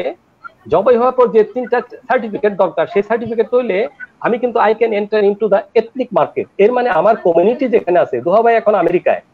ওখানে যে কমিউনিটি আছে, মুসলিম কমিউনিটি বাংলাদেশি লোক, তারা তো হালাল খেতে চায়। আমি নিজে দেখছি কানাডাতে একটা ট্রেনিং এ গেছি, আমাকে হালাল মুরগির বার্বিকিউ খাওয়াবে, তার জন্য সে এই কোন এক ঘণ্টা ড্রাইভ করে হালাল দোকানে যাইতে হয়েছে তাহলে আমি আমার মুসলিম কমিউনিটিতে বাংলাদেশি হইলে আরও সুযোগ বাংলাদেশি না হইলেও মুসলিম কান্ট্রি গুলাতে যেখানে আমি মনে করি বা মুসলিম কান্ট্রি না হোক যে মুসলিম কমিউনিটির জন্য আমি কিন্তু রেডি হইতে পারতেছি। ওদেরকে নিয়ে। প্রথম অঙ্কে আমি তো প্রফেসর দোয়া স্যারের কাছে একটু যেতে চাই। আরেকবার। জি বলেন। আমাদের এই রোডম্যাপ ইন্ডাস্ট্রি বা ডিপার্টমেন্ট অফ লাইফস্টক সার্ভিস বা এর সাথে সংশ্লিষ্ট যারা কর্তৃপক্ষ আছে, এদের মধ্যে যে লিঙ্ক আপ তৈরি করা বা এটা করতে গেলে যে আমাদের যে নতুন করে বিপণন ব্যবস্থা সৃষ্টি এই ক্ষেত্রে আপনার প্রস্তাবগুলো স্যার আমরা একটু শুনতে চাচ্ছিলাম তো কীভাবে আমরা এটাকে আগায় নিয়ে যেতে পারি স্যার। ধন্যবাদ। আমার মনে হয় যে এখানে আসলে অনেকগুলো কথা অল্প সময়ে শেষ করা যাবে না। সবচেয়ে বড় কথা আমি একবার ইন্ডিকেট করেছি যে আমরা ইউনাইটেড থাকতে হবে। ঠিক আছে? আমরা যদি এখন আমি যদি গুগলে সার্চ করি অথবা ফেসবুকে যদি সার্চ করি যে বাংলাদেশ পোলট্রি আমি না হলো শ দুয়েক আমার মনে হয় যে পেজ পাবো বা বিভিন্ন। কে কি করছে we are not clear okay এখন আপনি একটা একটা ইয়াতে আছেন, আমরা কি করে পোলট্রি স্টেক হোল্ডার যারাই আছে তাদের কথা শোনার চেষ্টা করি। কিন্তু সমস্যা হয় যে আসলে এটা কেন একটা ফোরাম না? Why not is one forum okay আমি জানি না, এখন স্বাভাবিকভাবে আমরা এখন আমি কিছুদিন আগে দেশের বাইরে আসছি। এর আগে আমি আমার জীবনে সমস্ত সময় আমি বাংলাদেশে দিয়েছি। বাইরে থাকলে একটা মুসিবত হচ্ছে, যে মানুষ মনে করে, ভাই, বড় বড় লেকচার বাইরে থেকে দেয়া যায়। একটা বড় মুসিবত হচ্ছে, এখান থেকে অনেক কিছু বলতেও ভয় লাগে। ঠিক আছে? আসলে এখন করোনা আমাদেরকে আরেকটা জিনিস প্রুভ করেছে, যে ডিজিটালাইজেশন পৃথিবীটা আগেও ছোট ছিল, আমরা বুঝি নেই। এখন আমরা অনলাইনে করছি না। এখন গরু গরু গাথা সবাই এখন অনলাইনে ঘাস খাচ্ছে সোজা কথা। তো এখন এখন যদি পারে, সেটা কিন্তু এই জিনিসটা আরও বিশ বছর আগেও পারতে পারতাম, কিন্তু আমরা পারি নাই। এটা সত্য। তো সেই জন্য বিশ বছর খামাখা পিছিয়ে আছে আমরা।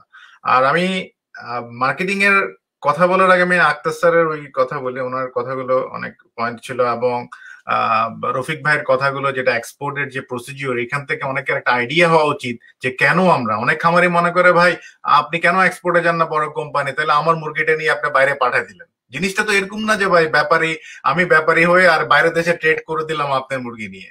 রফিক ভাইয়ের কথা ধরে আপনারা একটু বুঝার চেষ্টা করেন, এটা রেকর্ডেড থাকবে, যে কতগুলো প্রসিডিওর মেনটেন করে আমি এক্সপোর্টে যেতে পারব। আক্তার ভাইয়ের কথা আমি একটু ইয়ে করি, আমরা এগিয়েছি। কোন পৃথিবীর কোনো দেশ কিন্তু বসে নাই, আক্তার ভাই। পৃথিবীর কোন দেশ বসে নাই, পৃথিবীর সব দেশ এগিয়েছে বাংলাদেশে এই জিনিসটা বেশি চর্চা হয় উইথ ডিউ রেসপেক্ট যে আমরা সবকিছুতে এগিয়েছি পৃথিবীর কোন কোন দেশটা আগায়নি? পৃথিবীর কোন দেশটা লাফায় লাফায় আগায়নি? তো আমরা যেটা হচ্ছে যে আমরা আগাইছি, ওই যে বানরের মতো তিন ফুট গিয়ে আবার এক ফুট নিচে আসছি। আমাদের আগানোটা হচ্ছে ঠিক এভাবে। তো যেখানে তিন ফুট তিন ফুট করে তিন ধাপে নয় ফুট আগাতে পারতাম, সেখানে আসলে আমরা ছয় ফুট আগিয়েছি আমার বক্তব্য হচ্ছে ওটা। আমরা আগাই নাই কিন্তু কেউ বলি নাই। কারণ আমরা আমরা তিনশো মুরগি দিয়ে শুরু করেছি। আমাদের ফার্মেই তো আপনার লাখ লাখ প্যারেন্ট স্টক করছে তো আমি তো, আমাকে দেখলে হবে না। ওভারঅল ওই যে আপনি বললেন একশো বিশ হান্ড্রেড টোয়েন্টি থাউজেন্ড ফার্ম থেকে কেন সিক্সটি সেভেন্টি আপনার এইটি ধরলাম আমি। তো কিন্তু কেন এটা কমলো? যে এখন বড়রা আসছে বলে কি ছোটরা কিকড আউট হয়ে যাবে? তাহলে ছোটরা কেন বড় হলো না বাই দিস টাইম এখানে অনেকগুলো কথা আছে। কারণ হচ্ছে আমাদের ব্যর্থতার পিছন থেকে একটু লুক ব্যাক করতে হবে, কারণ আমাদের ব্যর্থতার জায়গাগুলো কোন জায়গায়? যে আমাদের খামারিরা, আমরা খামরা খামারিদেরকে কোনো কিছু জ্ঞান দিতে পাঠালেও কিন্তু খামারিরা সেটা রিসিভ করছে না। ভোক্তাদেরকে কিছু বলল ভোক্তার সাথে রিসিভ করছে না। রফিক ভাই বলল যে প্রাইস সেন্সিটিভ আমি বলব জিনিসটা একেবারে সত্য না। কারণ হচ্ছে আপনি ব্রয়লার মুরগি, আজকের রেট আমি পেলাম। আমি কিন্তু আমেরিকায় বসে প্রত্যেকদিন রেট নেই। আজকের রেট আমি পেলাম সর্বনিম্ন বিরানব্বই, সর্বোচ্চ আটানব্বই। আমার আমার জুরিসডিকশনে যারা কাজ করে ব্রয়লার আপনার হোলসেল রেট পেয়েছে। ডিমের রেট পেয়েছি সাতশো সত্তর থেকে সাতশো তিরিশ। সরি সাতশো হ্যাঁ সাতশো তিরিশ থেকে সাতশো সত্তর। এখন আপনি চিন্তা করেন, ওই দামে বিরানব্বই টাকায় ফার্মারি মুরগি বিক্রি করে বাংলাদেশে যে স্ট্যান্ডার্ড আপনি খাদ্য খাইয়ে স্ট্যান্ডার্ড আপনার যে প্রসিজিওর সাইন্টিফিক প্রসিজিওর মেনটেন করে সে কি প্রফিট করতে পারবে? প্রথম কথা হচ্ছে, আমি মার্কেটিং এ যাওয়ার আগে আমি আগে অপারেশন নিয়ে কথা বলছি। আমার অপারেশন এসওপি আপনি বলেছেন ভেরি গুড আপনি, আমরা ব্রিডার ফার্মের মালিক যারা, তারা কথাও বলতে চায় না, বললেও আমাদেরকে ব্যাক বাইট করার জন্য মানুষ বসে থাকে, মনে করে যে আমরা সব খেয়ে ফেলছি।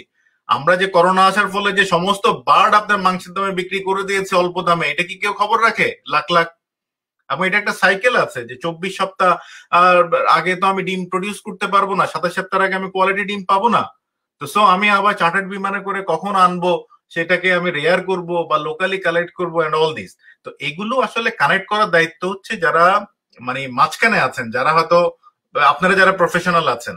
এখন যেহেতু আমার একটা ট্যাগ আছে, আমি একটা কোম্পানির সাথে একটা ট্যাগ আছে, আমি যখন বলব তখন সাথে সাথে একটা পক্ষ ভেবে নেবে যে ও I am talking about my interest আজকে অনেক খামারে বলে যে একটু যারা বড় খামারে তারা বলে যে, আমি তো নিজেই ফিড বানাই। Okay fine do you have any NRI machine do you have any testing centre R are you sending your materials to the testing centre ঠিক আছে, আপনার কি ওই সক্ষমতা আছে? দেন ফাইন আপনি প্রতিটা ইনগ্রেডিয়েন্টস আপনি টেস্ট করলেন যে, আমরা সামান্য ভুট্টার কতগুলো টেস্ট আছে আপনি জানেন?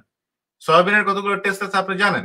তো সো কোয়ালিটি জিনিস দিতে গেলে তো আমাকে খরচ করতে হচ্ছে ল্যাবে খরচ করতে হচ্ছে, আমার প্রফেশনালে খরচ করতে হচ্ছে ফর্মুলেশনে খরচ করতে হচ্ছে ট্রান্সপোর্টে খরচ করতে হচ্ছে।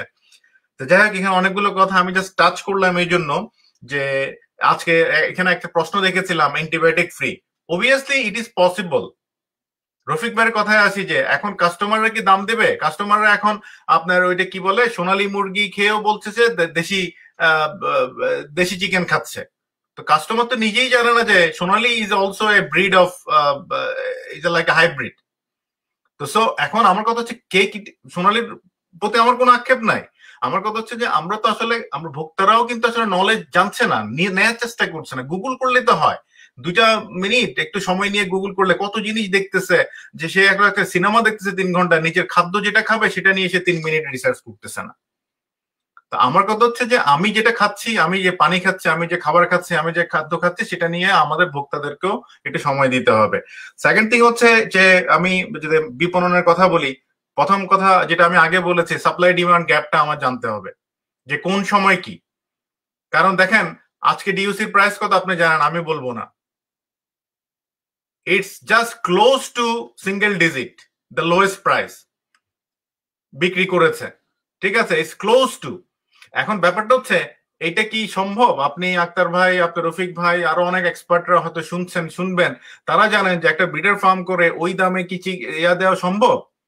তাহলে আমরা, এখন ব্যাপারটা হচ্ছে, আমার কথা হচ্ছে যে আমরা কাউ কেউ কাউকে না বলি। ঠিক আছে? আমরা চাই একটা স্ট্যান্ডার্ড প্রসিডিউর যে, ঠিক আছে, এই, এইটা চলবে। তাতে করে সবাই বেনিফিটেড হবে। সেই জায়গায় করতে গেলে আমাদেরকে যেটা উনি প্রশ্ন করেছেন যে আমাদের গ্রুপ আমাদের যে স্টেক হোল্ডার তাদেরকে কীভাবে এক কাতারে? এক কাতারে আসে সবচেয়ে বড় বড় সহজ উপায় হচ্ছে অল পোল্ট্রি স্টেক হোল্ডারকে একটা ফর্মামে আসতে হবে আর গভর্নমেন্ট একটা পক্ষ থাকবে। আমরা যাহা কিছু বলব, আমরা গভর্নমেন্টের সাথে আমরা ওই একটা পক্ষই দেন দন্দর করব। যদি এটা সম্ভব না হয় তাহলে এই এ বলবে সেটা, সে বলবে সেটা। আজকে আর্জেন্টিনা, ব্রাজিল ওদের মতো দেশ আমাদের এখানে মিট মানে ইনসার্ট করার জন্য বসে আছে। অলরেডি আমি যতটুকু জানি যে অল্প অল্প করে চিকেন মিট ইম্পোর্ট হচ্ছে, তো ইটস অ্যান অ্যালার্মিং কালকে যে কোনো সময় আপনার দড়ি ছিঁড়ে যেতে পারে, দেখা যাবে যে বাংলাদেশের সবাই ইম্পোর্টেড চিকেন খেতে হচ্ছে। তো সো সেটা করলে কিন্তু কেউই আমরা রক্ষা পাবো না।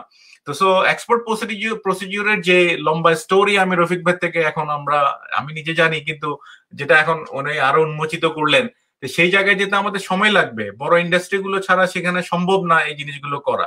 তো সো সেই, এই যে জায়গাটা আর একটা জিনিস হচ্ছে আমরা লোকাল মার্কেটকে প্রাধান্য দিতে হবে। দেখেন চায়না কেন আজকে তোয়াক্কা করে না সারা পৃথিবীকে? Because of they have their one point five billion market Bangladesh আঠারো কোটির বাজার ইটস নট ব্যাড কান্ট্রি হিসাবে এই আঠারো কোটি মানুষ যদি প্রপার কনজামশন করে, তাতেও আজকে তো আমরা লোকাল মার্কেটের উপরেই বেঁচে আছি ইন্ডাস্ট্রি তো এই লোকাল মার্কেটটাকে যদি আমরা আরেকটু সহজলভ্য করি, আরও জিনিসগুলোকে যদি কানেক্টিভিটি করি, তাহলে জিনিসগুলো, সরকারের সাথে বসতে হবে। সরকার হয়তো একদিন শুনবে না, সরকার এই দুঃখগুলো হয়তো একদিন বুঝবে না, ঠিক আছে? দ্বিতীয় দিন, তৃতীয় দিন, পঞ্চম দিন তো বুঝবে এখন যে একেবারে যে বুঝতেছে না যে তা না, নানা বিষয় যখন আমরা কমিউনিকেট করি, যখন একটা পক্ষ, একটা স্টেক হোল্ডার হিসেবে যখন আমরা যখন পুশ করব, তখন সেটা শুনতে হবে। আর বিপণনের একটা বড় জিনিস হচ্ছে কাস্টমার কি চায়, সেটার উপরে বেস করে আমার প্রোডাকশন করতে হবে। কাস্টমার যেটা চায়, এখন অ্যান্টিবায়োটিক ফ্রি এখন কাস্টমারকে জিজ্ঞেস করি আমি যে অ্যান্টিবায়োটিক ফ্রি মুরগি সম্ভব? প্রোবায়োটিক আছে অ্যান্ড অল দিস এখন অ্যান্টিবায়োটিক আপনার কোনো ক্ষতি হচ্ছে না। আপনার বাচ্চার অসুখ হলে ডাক্তার অ্যান্টিবায়োটিক দিচ্ছে, আপনি খুব সানন্দে অ্যান্টিবায়োটিক খাওয়াচ্ছেন বাচ্চা ভালো হওয়ার জন্য। আর মুরগি একটা হাইব্রিড জিনিস এই জিনিসের অসুখ বিসুখ হতে পারে, আর যখন কোনো জীবের অসুখ বিসুখ হবে, তার ওষুধ লাগবে। কিন্তু ফর্মুলাটা হচ্ছে রফিক ভাই আক্তার ভাই ভালো বলতে পারবেন। ওনারা বলবেন যে, একটা অ্যান্টিবায়োটিক দেওয়ার পর আমরা রিকমেন্ড করি যে, দশ দিনের মধ্যে বা আট দিনের মধ্যে মুরগিটা না বিক্রি করার জন্য। এবং সেই জিনিসটা কে মনিটর করছে? এখন যারা বড় খামারি, তারা কিন্তু রিস্ক নিচ্ছে না। তারা কিন্তু ওইভাবেই মেনটেন করছে। তাতে করে কারও ক্ষতি হচ্ছে না। আপনার যদি কোনো কারণে ওষুধ দিতে হয় সেই সার্কমস্টেন্সেস তৈরি হয়, কিন্তু সেটা কখন মার্কেটে দেওয়া উচিত, কোনটা দেওয়া উচিত না, সেই জিনিসগুলো মনিটর করার জন্য সরকারি একটা সেল আমার কথা হচ্ছে সরকারের এমন কোন সেল আমরা চাই না, আমি চাই না ব্যক্তিগতভাবে, যেটা আরও বেশি কমপ্লেক্সিটি অ্যারাইজ করবে। কারণ হচ্ছে এই লাইভ চিকেন নিয়ে মানুষ কিন্তু তিন ঘন্টাও অপেক্ষা করতে পারবে না, সেখানে তিন দিন, পাঁচ দিন তো সম্ভব না। তাহলে ভোক্তা যে জিনিসটা চাচ্ছে ভোক্তার মাথায় যেটা এখন ঢুকেছে যে আমাকে অ্যান্টিবায়োটিক খাওয়ায় মেরে ফেলতেছে, আমার রেজিস্ট্যান্সের বারোটা বেজে যাচ্ছে, ইত্যাদি ইত্যাদি ইত্যাদি, আমার কোনো কিছু এখন ধরতেছে না। এগুলো এগুলো, এই এই জিনিসগুলো আপনারা যারা টেকনিক্যাল হ্যান্ডে আছেন, আমরা তো লেমেন আমরা অন্য বিষয়ে লেখাপড়া করেছি। আপনারা যারা এইসব নিয়ে গবেষণা করছেন এসব নিয়ে কথাবার্তা জানেন, যেটা মানে যেটা হচ্ছে টেকনিক্যাল টার্মগুলো আপনারা এক্সপোজ করতে হবে। এবং এটা এখন সম্ভব সোশ্যাল মিডিয়ার মাধ্যমে। এখন এটা খুবই পসিবল খুবই পসিবল এটাকে এক্সপোজ করা, এটাকে কানেক্টিভিটি করা। আমাদের অন্য মিডিয়ার দরকারও নাই। কারণ এখন মানুষ এত বেশি সোশ্যাল মিডিয়াতে আসক্ত যে আপনার টিভি মিডিয়াও এখন কেউ দেখছে না। তো সো আমার কথা হচ্ছে যে সোশ্যাল মিডিয়াতে এই জিনিসগুলো ছোট ছোট ক্লিপ করে, এই যে মানুষ কিন্তু এক ঘণ্টা বক্তৃতা শুনে না এখন। আমি নিজে এইসব করেছি তো আমি জানি যে মানুষ এখন এক ঘণ্টা, দেড় ঘণ্টা এগুলো শুনে না। মানুষ চায় যে দুই মিনিটে কি বলেছে। জাস্ট একটা ওই যে গ্রামীণ ফোনে স্বপ্ন বাড়ি যায়, যে একটা ছোট্ট একটা দুই মিনিটের সং এইটা মানুষের মাথায় কিন্তু থেকে যায়। তো আমাদেরকে এই জায়গাগুলোতে ইনভেস্ট করতে হবে। পোলট্রি ওনারদেরকে পোলট্রি যে কোনো যার যার লেভেলে ফান্ড ক্রিয়েট করতে হবে। ফান্ড ক্রিয়েট করে সেটা মিডিয়া ম্যানেজমেন্টের মাধ্যমে সেটা কানেক্টিভিটি করতে হবে। মার্কেটিং এর সবচেয়ে বড় জিনিস হচ্ছে কানেক্টিভিটি করা ইনফরমেশনটা আমার কি আছে? কাস্টমার কি চায়? সেটার মধ্যে ব্যালেন্স করা। আমরা যেটা এখন করছি, আমার মতো করে আমি পালছি। ওই যে কে, আক্তার ভাই তো বলল যে আমি একটা স্ট্যান্ডার্ড প্রসিডিওর দিলাম, কিন্তু সারা বাংলাদেশে ষাট হাজার খামারি তো একই প্রসিডিওর মেনটেন করল না। আবার প্রফেশনালদের মধ্যেও নানা রকম তত্ত্ব আছে। কেউ বলবে আদা খাওয়ান, কেউ বলবেন রসুন খাওয়ান, কেউ বলবেন পেঁয়াজ খাওয়ান, ভালো হয়ে যাবে আপনার সবকিছু। তো সো এখন আপনি যা বলেন ইউনিফাইডলি কেন বলেন না? কেন এই রিসার্চ গুলোকে একটা জায়গায় আনা হচ্ছে না? যেটা আপনার একটা ছোট্ট কান্ট্রি এটা এমন না যে অনেক বড় কান্ট্রি এটার মধ্যে অনেকগুলো উইং আছে, অনেকগুলো স্টেট আছে। এবং সেগুলো কানেক্ট করা কিন্তু আসলে সবকিছু ঢাকা বেসড তো সো ঢাকায় যেটা যদি, ঢাকায় যদি আমরা যদি অ্যাটলিস্ট ঢাকায় যদি আমরা ইউনাইটেড থাকি, আমার মনে হয় যে সারা বাংলাদেশকে কন্ট্রোল করা অনেক সম্ভব রিগার্ডিং দ্য ইনফরমেশন তা আমার আরও একটা জিনিস, যেটা হচ্ছে যে লোকাল মার্কেটকে কখনোই আপনি ডিনাই করবেন না। যে লোকাল মার্কেটটাকে কারণ আমি আগে একটা ইনফরমেশন দিয়েছি যে আমরা পাঁচ সাত কেজি চিকেন খাই, সেটাকে আমরা উন্নীত করে যদি আমরা দশ কেজিতে নিতে পারি, বারো কেজিতে নিতে পারি, তাহলে কত প্রোডাকশন বাড়াতে হবে? কিন্তু এই রেট দিয়ে বিরানব্বই টাকা, আটানব্বই টাকা, বিশ সত্তর টাকা, আশি টাকা করোনার সময় বিক্রিও করতে পারে নাই, এবং তাহলে তার হবে না। ঠিক আছে, আজকে আমি অনেক আমার পরিচিত মানুষ বলে দশ টাকা একটা ডিম। ভাই, দশ টাকা ডিমের যে পুষ্টিমান, সেই পুষ্টিমান দশ টাকার একটা আর্টিফিশিয়াল প্রোডাক্ট আমাকে দেখান। আপনি দশ টাকা ডিমকে কেন আপনি আতঙ্কিত হচ্ছেন? আজকে দুধের দাম বিশ বছর স্ট্যাটিক হয়ে আছে। আমরা সেই আপনার দুই হাজার নিরানব্বই সালে দুধ বিক্রি করেছি, আপনার পঁচপান্ন টাকা, যদি এটা পোল্ট্রি আলোচনা। হ্যাঁ এখনও সেই জিনিসটা হোলসেলে অনেক অনেক কম পাচ্ছি আমরা। তো ইনফ্যাক্ট আমি বলব যে মানে with due respect of all the consumers কনজিউমার্সরা বাংলাদেশে অনেক সস্তায় কনজাম করছে। আমি আমেরিকায় হালাল চিকেন কনজিউম করি আপনার সাড়ে পাঁচ থেকে ষাট ডলার পাউন্ড দ্যাট মিনস আপনার চোদ্দ পনেরো টাকা কেজি পরে আমেরিকা কিন্তু প্রোডাকশনের কোনো কমতি নেই। America one of the one of the great country for poultry genetics এবং পোলট্রি ফার্মিং সো এখন আপনি জাস্ট চিন্তা করেন because of the processing and all the all the maintenance যেটা রফিক ভাইদের ওই যে food safety and all this এগুলো মানতে গেলে খরচ বেড়ে যাচ্ছে। এবং সে আমার ডোর স্টেপে দিয়ে যাচ্ছে যে, আপনার মার্কেটিং এর কথা হচ্ছে, খামারি কাস্টমার যেখানে চায় সেখানে দিতে হবে আমাকে। খামারে যদি সরি ভোক্তা যদি অনলাইনে চায় অনলাইনে ডেলিভারি দিতে হবে। সো অনলাইনে ডেলিভারি দিতে গেলে ভোক্তাকে পে করতে হবে বেশি। কারণ সেটা মেনটেনেন্স করা, সেটা ফ্রোজেন করা, সেটা ফ্রোজেন ইয়েতে স্টেবল অবস্থায় পাঠানো, সব নিয়ম নীতি মেনটেন করে তাহলে আপনাকে একটু বেশি পে করতে হবে, যেটা আমরা এখানে পে করছি। আপনি এখানে ওয়ান নাইনটি নাইনেও চিকেন পাচ্ছেন, আপনি সেভেন নাইনটি নাইনেও চিকেন পাচ্ছেন। কিন্তু মানুষ কোনটা আপনার নিচ্ছে? যখন যার যেটা প্রয়োজন হচ্ছে, সেটাই সে নিচ্ছে। তো সো আমার মনে হয় আপনি সাফল্যের, আমাদের সাফল্যের অনেক সুযোগ আছে। আমাদের ইন্ডাস্ট্রি গুলো দাঁড়িয়েছে। এখন যে আক্তার ভাই বললেন যে, এখন অনেকে চাকরি করতে কিন্তু উইথ ডিউ রেসপেক্ট আমি কিন্তু যতটুকু, যতগুলো ভালো লোক আমার দরকার, জ্ঞানী লোক দরকার, অতগুলো জ্ঞানী লোক কিন্তু আমি পাচ্ছি না ইউনিভার্সিটি থেকে। গ্রাজুয়েট হচ্ছে thousands thousands of million thousands of hundreds of people are graduated from the agriculture universities, private, public or whatever, i don't know. কিন্তু কিন্তু যখন ইন্টারভিউ বোর্ডে সে ঠিক মতো বলতেই পারে না যে একটা ব্রয়লার লালন পালন কীভাবে করতে পারে। এটা তো একটা, এক বছর ফার্ম করলে একটা মানুষ বলতে পারে। তো সেই দৈন্যতা কেন হচ্ছে? সেই জায়গাটা এডুকেশন সেক্টরের সাথে যারা জড়িত আছেন তারা দেখবেন। কারণ তারা ভালো প্রোডাক্টগুলো দিলে তারা এখানে ভালো কাজ করবেন। ঠিক আছে? তো সো এইভাবে করে জিনিসগুলো। আমার মনে হয় যে আমি আর দীর্ঘায়িত না করি। কারণ স্যারেরা আছেন, ওনারা আমার সাথে ভালো জানেন। আমাকে বলতে বললে আমি বলতে থাকবোই। সো স্পেসিফিক যদি মার্কেটিং এর যদি স্পেসিফিক কোনো এজেন্ডা থাকে কারণ আমরা যে মার্কেটিং এর যে প্রসিডিউরগুলো স্টেপ বাই স্টেপ যে ফ্রম দা লাইক মার্কেটিং আসলে শুরু হয় মার্কেটিং রিসার্চ থেকে। যে আপনি রিসার্চ করে দেখবেন আপনার কি প্রোডাক্টের আপনার ডিমান্ড আছে। সেই অনুযায়ী প্রোডাক্টগুলো বানাতে হবে সেগুলো কানেক্ট করতে হবে খামারিদের সাথে যে ভাই এগুলো আপনারা এগুলো ডিমান্ড বেশি এগুলো আপনার বানান। কিন্তু বাংলাদেশে কোনো থিওরি ঠিক মতো কাজ না করাতে মার্কেটিং এর থিওরি ঠিক মতো কাজ করবে না। স্যার, প্রফেসর শামসুল স্যারকে ধন্যবাদ। এই পর্যায়ে আমি রফিক সরকার স্যারের কাছে জানতে চাবো যে রোড ম্যাপ বিষয়ে যদি আপনি আপনার ভিউ থেকে আমাদের দর্শকদের উদ্দেশ্যে কিছু বলতেন রোড ম্যাপ রোড ম্যাপ আসলে এটা জটিল শব্দ রোড ম্যাপ তবে আমরা স্টেপ বাই স্টেপ দু একটা কাজ করতে পারি। সেটা হচ্ছে যে আপনাকে অবশ্যই আগে আমাদের যেটা করতে হবে, সেটা হলো মার্কেট অ্যাসেসমেন্ট করতে হবে যে আমার ডিমান্ড কতটুকু আছে এবং আমার সাপ্লাইয়ের অবস্থানটা কি। এটা একটা মার্কেট অ্যাসেসমেন্ট করা দরকার। সেকেন্ড হলো, যেহেতু আজকের একটা আলাপে দুটো মার্কেটের কথা বলা হয়েছিল, একটা হচ্ছে ডোমেস্টিক মার্কেট বা লোকাল মার্কেট আর একটা হচ্ছে ইন্টারন্যাশনাল কিংবা এক্সপোর্ট মার্কেট আমাদের আগে ভাবতে হবে যে আমরা ডোমেস্টিক মার্কেটে আরও শক্তিশালী অবস্থানটা কীভাবে নিতে পারি, সেক্ষেত্রে আমাদের ডিমান্ড বাড়াতে হবে। আজকে আমরা রিকোয়ারমেন্ট অনুযায়ী অনেক ফিফটি পার্সেন্টও আমরা কনজিউম করি না। যেহেতু মার্কেটে গ্যাপ আছে, এই গ্যাপটা ফুলফিল করার জন্য অবশ্যই ইন্ডাস্ট্রি সেক্টরে যারা বিগ বিগ প্লেয়ার বা স্মল প্লেয়ার কিংবা পলিসি মেকার আছেন, তাদেরকে আসলে একত্রে বসতে হবে। এবং একটা মার্কেটে একটা স্ট্যান্ডার্ড তৈরি করতে হবে, যেটা দোয়া সাহেব কিংবা আক্তার ভাই দুজনই বলেছেন যে আমাদের একটা এসওপি পর্যন্ত নেই এবং একটা স্যানিটারি ফাইড স্যানিটারি সার্টিফিকেট ডিএলএস এর কাছ থেকে না পেয়ে ডিপার্টমেন্ট অফ এগ্রিকালচার এক্সটেনশনের কাছে যেতে হয়।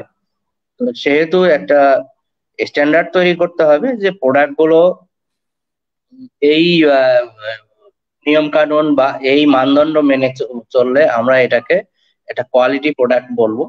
সেই প্রোডাক্ট গুলোকে আমাদের সাথে একটা একটা পলিসি লেভেলে আনতে হবে। সেকেন্ড হলো যে প্রোডাক্ট কোয়ালিটি দিতে গেলে যে সমস্ত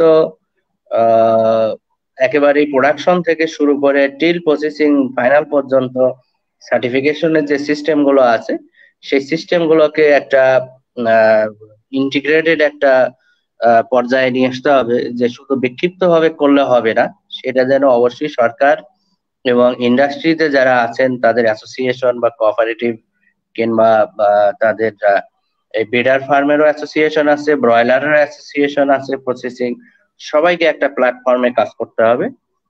এরপর যেটা হবে যে লোকাল মার্কেটে যখন একটা শক্তিশালী অবস্থান গড়ে উঠবে যে হ্যাঁ আমরা কোয়ালিটি প্রোডাক্ট দিতে পারি, দেওয়ার মতো অবস্থানে আমরা আছি। তখন অবশ্যই ইন্টারন্যাশনাল মার্কেটগুলোতে আমাদের এক্সপোজার বাড়াতে হবে এবং ইন্টারন্যাশনাল মার্কেটে আমাদের যেতে হলে যে সমস্ত সক্ষমতা বা ক্যাপাসিটি বিল্ডিং দরকার, তার মধ্যে একটা হলো যে কোয়ালিটি স্ট্যান্ডার্ড এবং সার্টিফিকেশন সার্টিফিকেশন দেওয়ার জন্য যে সমস্ত প্রতিষ্ঠান প্রয়োজন সার্টিফিকেশন বডি বা সেই সমস্ত বডিগুলোকে অবশ্যই ইন্টারন্যাশনালি অ্যাক্রিডিটেটেড হতে হবে। যেমন আক্তার ভাই একটু আগে বলেছিলেন যে বিএসটিআই উনি চায় না একটা সার্টিফিকেট দিতে। কিংবা বিএফএস এ তারা এখনও শক্তিশালী হয় নাই, কিংবা ডিএলএস শক্তিশালী হয় নাই। আমরা এই জিনিসগুলোকে একটা হলিস্টিক অ্যাপ্রোচে আনতে চাই যে হ্যাঁ বাংলাদেশেও সার্টিফিকেশন সিস্টেম সম্ভব। তখন এক্সপোর্ট লেভেলে শুরুতে অবশ্যই হাই এন্ড মার্কেট টার্গেট করলে হবে না। আমাদেরকে অবশ্যই আমাদের এথনিক গ্রুপ কিংবা আমাদের যেখানে মুসলিম কমিউনিটি হালাল সার্টিফিকেট দিয়ে সম্ভব, সেই জায়গাগুলোতে আগে এক্সপোর্ট করতে হবে এবং আস্তে আস্তে গ্রাজুয়ালি এগোতে হবে। আমরা একদিনেই যেন একেবারেই ফাইনাল মার্কেটকে টার্গেট না করি, আমরা গ্রাজুয়ালি যেন আগাতে পারি। আরেকটা যেটা আছে, যেটা যে খামারি এবং ছোট হোক কিংবা বড় হোক, প্রত্যেকেরই অ্যাওয়ারনেস এবং নলেজ নলেজের ব্যাপার আছে। নলেজটাকে অবশ্যই প্রোডাক্টটাকে যে ইন্ডাস্ট্রিটাকে যে একটা দাঁড় করাতে হবে, সেই ধরনের মার্কেট ইন্ডাস্ট্রি লিডার বা সে একটা ভালো লিডারশিপ প্রয়োজন আছে, সে লিডারশিপ গ্রো করতে হবে। আর একটা যেটা হলো যে দোহা সাহেব যেটা বলেছেন যে, অনেক সময় কেউ জানে না যে উদ্যোক্তা কিংবা বড় বড় খামারি বা যারা লস করে হয়তো অনেকে বিক্রি করেন। যেমন কোভিড শুরুর দিকে কিন্তু হয়েছিল, পরের দিকে হয়েছে। তো সেই জায়গাগুলোতে গভর্নমেন্ট বা সরকারি লেভেল থেকে একটা ব্যবস্থা থাকার এগুলো মনিটর করার একটা জায়গা থাকতে হবে। যে মনিটরিং সিস্টেমটা সত্যি সত্যি প্র্যাকটিক্যাল এবং বাস্তবসম্মত হতে হবে, সেই জিনিসগুলো আসলে আমাদের ভেবে দেখা দরকার। আর ফাইনালি একটা অ্যাসোসিয়েশন এবং গভর্নমেন্ট লেভেল উভয় পক্ষ থেকে একটা কোঅর্ডিনেশন একটা প্ল্যাটফর্ম তৈরি করতে হবে, যেখানে মার্কেটের প্রবলেমগুলো আইডেন্টিফাই করা যাবে প্রবলেমগুলো সলভ করার জন্য কার কোন ধরনের রেসপন্সিবিলিটি আছে সেই জায়গাগুলো ভাগ করে দেওয়া যাবে। এবং ফাইনালি টার্গেট রাখতে হবে যে আমরা ভালো কোয়ালিটি প্রোডাক্ট তৈরি করতে চাই। আমাদের দেশে কিন্তু আঠারো কোটির মতো মানুষ, এইটাই কিন্তু বড় একটা মার্কেট এই মার্কেটটাকেই যদি আমরা সেগমেন্ট তৈরি করি যে হ্যাঁ আমরা একটা আপার লেভেলের একটা হাই এন্ড মার্কেট সেখানে একটা ভালো কোয়ালিটির প্রোডাক্ট দিতে চাই। এ গ্রেড বি গ্রেড এরকম হতে পারে। ফাইনালি আমরা যদি নিজের দেশকে ফুলফিল করতে পারি হয় না তখন আমরা এক্সপোর্ট লেভেলে যাব। এক্সপোর্টকে টার্গেট এখনই মনে হয় যে আমরা রেডি হইনি যে এক্সপোর্ট করতে পারব। তবে এথনিক মার্কেটটা আমরা ধরতে পারি। এই মোটামুটি রোডম্যাপ বলা যেতে পারে। আদার দেন সাপ্লাই চেন যেটা দশের সকালে শুরু শুরু করেছিলেন আমাদের সাপ্লাই চেনটা আসলে খুবই ফ্রাজাইল এই ফ্রাজাইল সাপ্লাই চেনকে ইন্টিগ্রেটেড করতে হবে, আরও শক্তিশালী করতে হবে। আর ইনগ্রেডিয়েন্ট যেগুলি অবশ্যই কস্ট অফ প্রোডাকশন কমানোর চেষ্টা করতে হবে, আমরা প্রাইস লেভেলে হাত দিতে পারব না। কস্ট অফ প্রোডাকশনটা যদি আমরা কমাতে পারি, বিভিন্ন ধরনের ইমপ্রুভ বা মডার্ন কালচারাল সিস্টেম কিংবা ফার্ম ম্যানেজমেন্ট ইনপুট সাপ্লাই এই জিনিসগুলো করতে পারি। সেই জায়গাগুলোতে আমাদের কাজ করতে হবে। আর মার্কেট লেভেলের ব্যাপারটা আসলে একা করা যাবে না। এটা সমন্বিত একটা কাজ। এটা যেন ইন্ডাস্ট্রিকে সাথে নিয়ে ইন্ডাস্ট্রি পিপলকে সাথে নিয়ে, সরকারের সাথে সামঞ্জস্য রেখে একটা কোঅর্ডিনেশনের মাধ্যমে আসলে মার্কেটে এগোতে হবে। এবং মার্কেটটা চিন্তা হবে না। কারণ হলো যে আমরা একটা লাইভ বিজনেস করতে যাচ্ছি, একটা লাইভ তৈরি করতেছি লাইভ বড় করে আস্তে আস্তে নিয়ে যাচ্ছি। এটা কিন্তু কোনো আর্টিফিশিয়াল প্রোডাক্ট না। যে একটা ফর্মুলা দিলাম তাতে টু পার্সেন্ট এটা দিলাম ফাইভ পার্সেন্ট আর একটা ইনগ্রেডিয়েন্ট দিলাম, তাহলে একটা প্রোডাক্ট তা নয়। এটা একটা লাইভ জিনিস এবং একটা বায়োলজিক্যাল ব্যাপার আছে। সেই জন্য এখানে অবশ্যই গুড এগ্রিকালচারাল প্র্যাকটিসেস এবং স্টেপ বাই স্টেপ এগোতে হবে। এটাই এটাই মোটামুটি আমার আমার থেকে আর মার্কেট ইনফরমেশনটা মানুষকে জানাতে হবে। ধন্যবাদ স্যার। থ্যাংক ইউ এই পর্যায়ে আমি কিছু ডাক্তার রজমান স্যারের কাছে যেতে চাই। স্যার আসলে অনেক কথাই কিন্তু আমাদের আলোচকদের ভিতর থেকে বেরিয়ে আসলো। তো আপনার কাছে একটি প্রশ্ন করতে চাই। যে আমাদের এই সাপ্লাই চেন আন্তর্জাতিক মানের কি কি দক্ষতাকে আনতে হবে বা কি কি দক্ষতা আমাদের অর্জন করলে আন্তর্জাতিক মানে একটি সাপ্লাই চেন আমরা করতে পারব? এই বিষয়ে যদি একটু আলোকপাত করেন।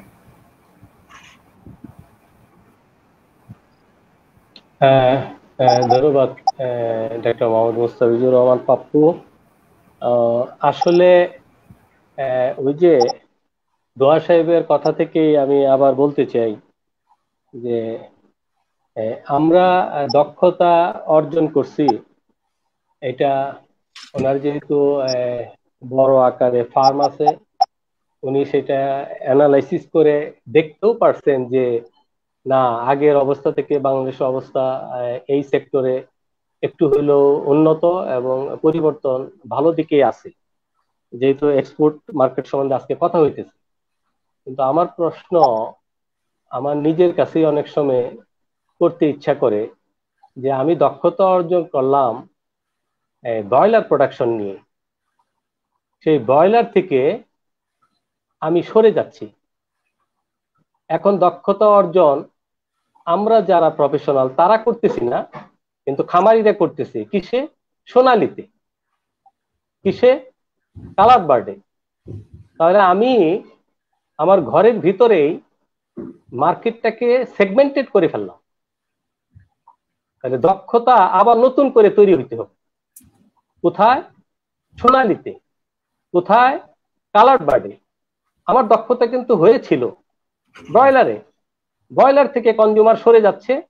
মার্কেট ডাইনামিক মার্কেট কনজিউমার বিহেভিয়ারের উপরে নির্ভর করে। কনজিউমারের সে সবসময় সে স্টাডি করতেছে। স্টাডি করে সে পথ পথ চেঞ্জ করে ফেলছে। যে না আমার তো টিকতে হবে। আমার বায়ার যা চায়, আমার কনজিউমার যা চায়, তাহলে সে কি করতেছে? তার ডাইভার্সিফিকেশন নিয়ে আসতেছে। ওকে আমি ব্রয়লারেও থাকব, সাথে সাথে আমি কালার বার্ডে যাব। প্রয়োজনে দেখা যাবে বড়দের মধ্যে অনেকে সোনালিতে চলে যাবে। তাহলে হইতেছে কি? আমার যে একটা গোল ছিল ব্রয়লারে সেটা থেকে কিন্তু আমি সরে যাচ্ছি। এখন আমাদের দক্ষতা তৈরি করতে হবে তিনটায়। সোনালি কালার বার্ড ব্রয়লার তো আছি টার্কি নিয়ে কথা। কারণে। তিনটাকে আবার এক তিনটাকে আবার একত্রিত করা যাবে কনজিউমারের কাছে। কনজিউমার যেটাই খাক। কীভাবে? তিনোটাকে যদি আপনি ডিক্লেয়ার করেন safe meat safe chicken meat if you buy Sonali তোমার টাকা আছে। কম মাংস খাইতে চাও বেশি হাড্ডি খাইতে চাও সোনালি নিয়ে নাও। তুমি বেশি মাংস খাইতে চাও, তাহলে তুমি ব্রয়লার নিয়ে নাও।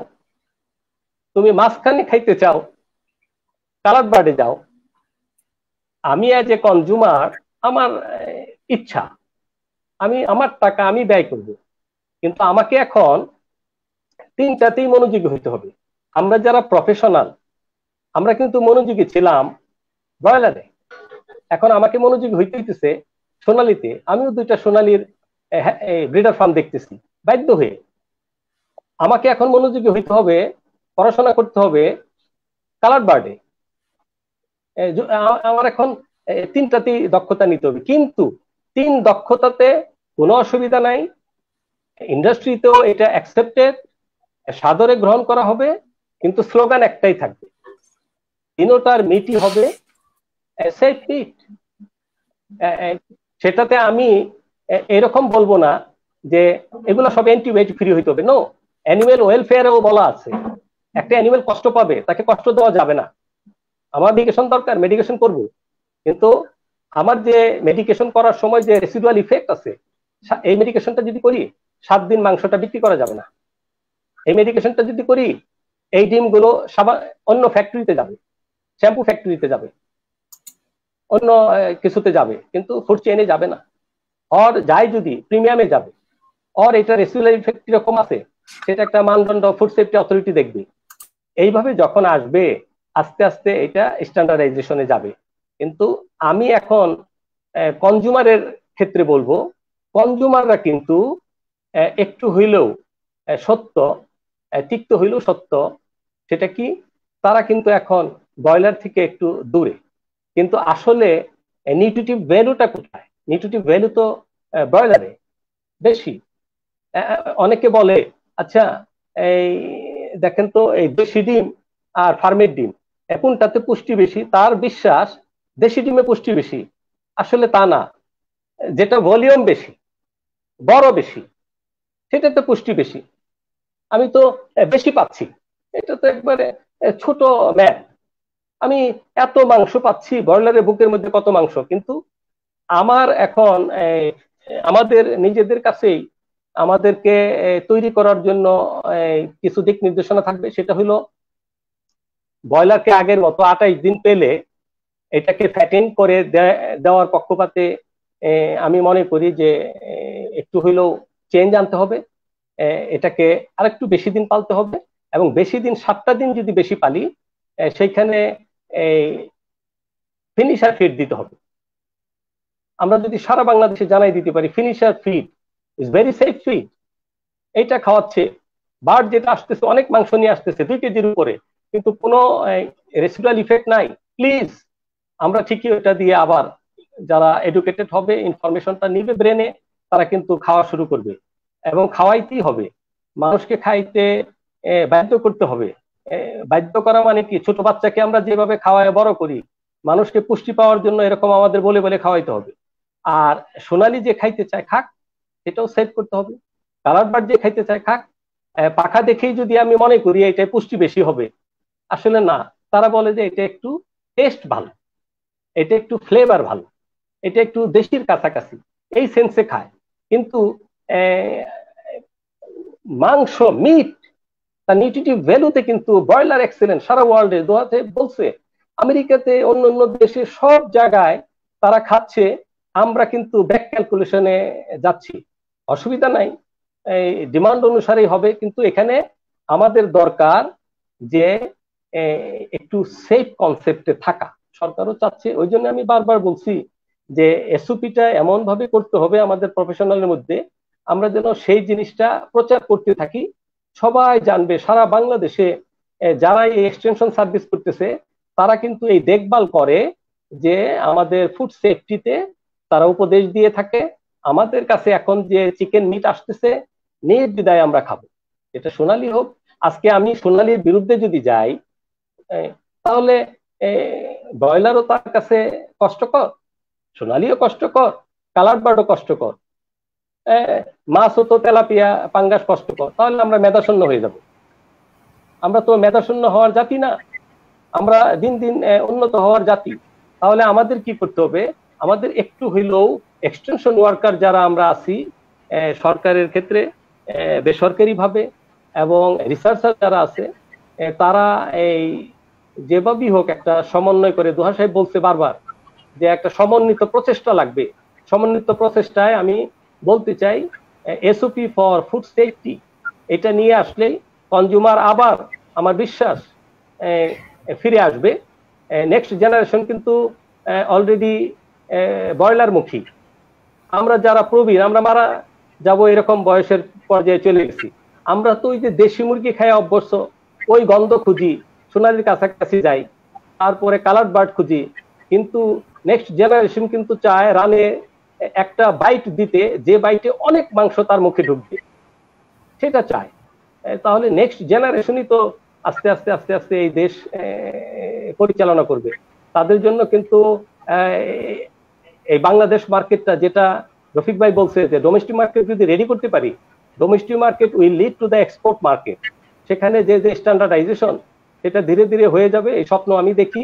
আর আমি একটা দিক নির্দেশনা দিতে চাই, সেটা হলো সরকারি ভাবে বেসরকারি ভাবে একটা কমিটি হওয়া দরকার। বিভাগীয় পর্যায়ে যে কমিটি, এই আমরা অনেক সময় আমাদেরকে বলি অ্যানিমাল ইঞ্জিনিয়ার কেন বলি?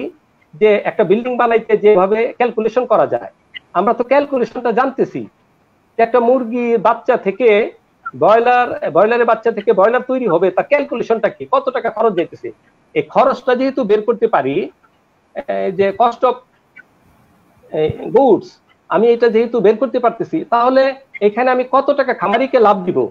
সেই প্রাইস ফিক্সেশন কমিটি থাকবে। পাবলিক প্রাইভেট অ্যাসোসিয়েশন মিলে, খামারিরা মিলে স্টেক হোল্ডার্স মিলে একটা কমিটি থাকবে যারা প্রাইস ফিক্সেশন করবে সেলস প্রাইস হবে। আরেকটা হইল বিভাগীয় পর্যায়ে সরকারের প্রতিনিধির সাথে কথা বলে, দরকারের ডিসি সাহেবের সাথে কথা বলে আবদার করে কোন একটা খাস জমিতে আপনার এই যে পোলট্রি মার্কেট তৈরি করতে হবে। যে মার্কেটে স্যানিটেশন ব্যাপারটা থাকবে, যে মার্কেটে প্রসেসিং ব্যাপারটা থাকতে পারে, যে মার্কেটে কোল্ড চেন মেনটেন করে আমি মুরগিগুলা রেখে দিতে পারি, আমি যে না, আমি লাইফবার পারলাম না, দাম কম। আমি সব স্লটারিং করে হালাল পদ্ধতিতে আমি সেগুলাকে রেখে দিলাম। আমি সেটা ফিনিশ প্রোডাক্ট হিসাবে দেবো ড্রেস বার্ড কিন্তু এখন মুরগি নিয়ে রাস্তায় এসে আমি বিপদে। যারা নাকি মার্কেটে আসে, আমি ভোরবেলা নিজে গিয়ে দেখছি, খুব কষ্ট লাগে। কারণ সে জানে না, আল্লাহ আল্লাহ করতে থাকে যে মার্কেটিং এ কত রেট সকালবেলা রেটটা হইল কয়েকজনে মিলে রেট করবে। ট্রাক নিয়ে চলে আসছে রেট ঠিক নাই। এই জন্য এখন ক্রেতা যারা, তারা অনেক সময় ওই খামারেই মিডলম্যানের মাধ্যমে রেট করে নিয়ে আসে। কিন্তু হোলসেল মার্কেটে যদি কেউ নিয়ে যায়, তার কিন্তু মহাবিপদ ধরেন আমি একটা উদাহরণ দিয়ে বলি, আমি হোলসেল মার্কেটের হর্তাকর্তা। আমার কাছে রফিক ভাই ট্রাক পাঠাই দিছে। রফিক ভাই জানে না কত টাকা সকালবেলা হবে রেট এমন রেট হইল, রফিক ভাইয়ের উল্টা পঞ্চাশ হাজার টাকা লস হইল। তাহলে রফিক ভাই খামারি কেন থাকবে? এই জন্য দরকার হইল যে আমি এমন একটা মার্কেটে যাব, আমি দিক নির্দেশনা পাবো যে প্রতি বার্ডে আমার কস্ট এরকম হয়েছে market committee will give me ten taka profit যে দশ টাকা করে রেট দিয়ে দাও। তাহলে হলে কি খামারি টিকে থাকবে? খামারিকে দুইটা ভাগে ভাগ করা যেতেছে বিগ যারা, তারা স্ট্যান্ডার্ডাইজেশন করে আমরা যে স্বপ্ন দেখতেছি ভ্যালুয়েটেড প্রোডাক্ট নিয়ে এক্সপোর্ট মার্কেটে যাবে। অ্যাকসেপ্টেড কংগ্রাচুলেশন অ্যাপ্রিসিয়েটেড আরেকটা মার্কেট তাদের সাস্টেনেবিলিটি তারা টিকে থাকবে। তাদের আয় করার দরকার আছে সংসারের জন্য তাহলে সে যে এটা ক্ষুদ্র এক মাসের একটা উদ্যোগ নেওয়ার চেষ্টা করে পারতেছে সেটা কি এসএমই স্মল মিডিয়াম এন্টারপ্রাইজ সরকারের দিক নির্দেশনা এসএমই কে ডেভেলপ করা। এসএমই পরে যারা এসওপিতে যাবে স্ট্যান্ডার্ড হবে তারা বড়দের সাথে ইন্টিগ্রেট হবে। দেন আমি স্বপ্ন দেখতে পারি বিগ সাপ্লাইয়ের ভ্যালুয়েটেড প্রোডাক্টের আমি এইভাবে দেখি। Fixation of the price committee formation public private researcher coordination আর কনজিউমারের বিহেভিয়ারের মধ্যে চেঞ্জ নিয়ে আসা in terms of food safety and nutritive value of the product thank you এ পর্যায়ে আমি প্রফেসর দোয়াসারের কাছে একটু জানতে চাই। আমরা অনুষ্ঠানের প্রায় শেষ পর্যায়ে চলে আসছি। সংক্ষেপে যদি রোড ম্যাপের কিছু বুলেট পয়েন্ট যদি আমাদের একটু আলোচনা করতেন সংক্ষেপে যে বুলেট পয়েন্টগুলো কি কি হতে পারে আর রোড ম্যাপের বিষয়ে স্যার। আপনার আলোচনা অনেক আচ্ছা আমি আলোচনা হচ্ছে ফিডব্যাকও পাচ্ছি স্যার। আলোচনা আলোচনা দীর্ঘ হওয়াটা খারাপ না এটা রেকর্ডে থাকবে যার খুশি শুনবে যার দরকার হবে শুনবে। আমার কথা হচ্ছে এটা উই আর গিভিং টাইম আমাদের টাইমটা ফ্রি না but we are giving it free okay এখন আপনি পৃথিবীতে লোক পাবেন না যে ফ্রি সার্ভিস দিবে but we are doing it আমরা সেক্টর ডেভেলপমেন্টের জন্য অনেক ফ্রি টাইম দেই, এবং দিয়ে আসছি গত বত্রিশ বছর। তো কাজেই কেউ যদি এখন না শুনে, সেটা তার ব্যাপার। আমার কথা হচ্ছে, আমি কথা খুব স্ট্রেট ফরওয়ার্ড বলি। যাদের জন্য বলছি, তারা যদি না শুনে তো ইটস দেয়ার হেডেক আমি আমার পার্টটা করছি, আপনি আপনার পার্টটা করছেন, ঠিক আছে? সবাই ব্যস্ততা আছে। এনিওয়ে আমি বুলেট পয়েন্ট বলতে there is no bullet point actually so এখানে আক্তার স্যারের সাথে আমি একটু অ্যাড করব। প্রত্যেকটা জায়গায় ডেভেলপ করতে হবে। এটা তো এমন না যে একজন ডেভেলপ করবে। এই সেক্টরে লোকের অভাব নাই। প্রত্যেকটা লোক প্রত্যেকটা লোক অ্যাসাইন্ড আছে কে কোন বিষয়ে পারদর্শী। এখন এখানে কথা হচ্ছে যে সোনালি পালবে না, ব্রয়লার পালবে না লেয়ার পালবে, নাকি কি পালবে, তার কি পালবে, নাকি এখন অনেক কিছু আসছে। আমার কথা হচ্ছে, একটা মানুষ কিন্তু সব জায়গায় এক্সপার্টিস হতে পারে না। সেই জন্য যে এডুকেশন সেক্টরে বা যেখানে ডিগ্রি দেওয়া হচ্ছে ডিগ্রি দেওয়ার যে কারখানাগুলো, কারখানাগুলোতে সেই জিনিসগুলোকে সেগ্রিগেট করতে হবে। যেরকম আমরা বিজনেসে মার্কেটিং নিয়ে লেখাপড়া এইচআর নিয়ে লেখাপড়া অ্যাকাউন্টিং নিয়ে লেখাপড়া বিভিন্ন ডোমেইন সৃষ্টি করেছি। তাতে করে হবে কি, একজন মানুষ, আমার আমার পিএইচডি সুপারভাইজার আমাকে বলতো one thing at a time can give you the quality output আপনি যদি দশটা কাজ একসাথে করেন you can not give the quality output so আমার কথা স্ট্রেট যে আমি মার্কেটিং আমার আমার আমার নাইনটি থ্রি থেকে আমি মার্কেটিং প্র্যাকটিস করি। আমি আমি জাম্প আউট করছি সাপ্লাই চেনে এখন আমি মার্কেটিং মানে জানি বলতেও আমার এখন সে কি ফিল করি। কারণ হচ্ছে এখানকার কালচার হচ্ছে, আপনি একটা বিষয়ে বলতে পারবেন। আপনি যদি বলেন যে আমি এটাও জানি এটাও জানি নোবডি উইল বিলিভ ইউ তো যেহেতু যেটা উন্নত দেশ, আমি বলছি। যাই হোক, আমি একটু আপনার বুলেট পয়েন্টে আসি, পাপ্পু সাহেব, যে মার্কেটিং আমরা যেটা মার্কেটিং এ সবসময় বলি মার্কেটিং এর অনেকগুলো সেগমেন্ট আছে। আমি ইন জেনারিক বলে marketing is a continuous innovation তো এখানে এটার কোনো শেষ নাই। Every day is a new day like a sales people sales পিপলে যেরকম মাছ গুললে জিরো হয়ে যায় কে ফিগার আবার শুরু করতে হয়।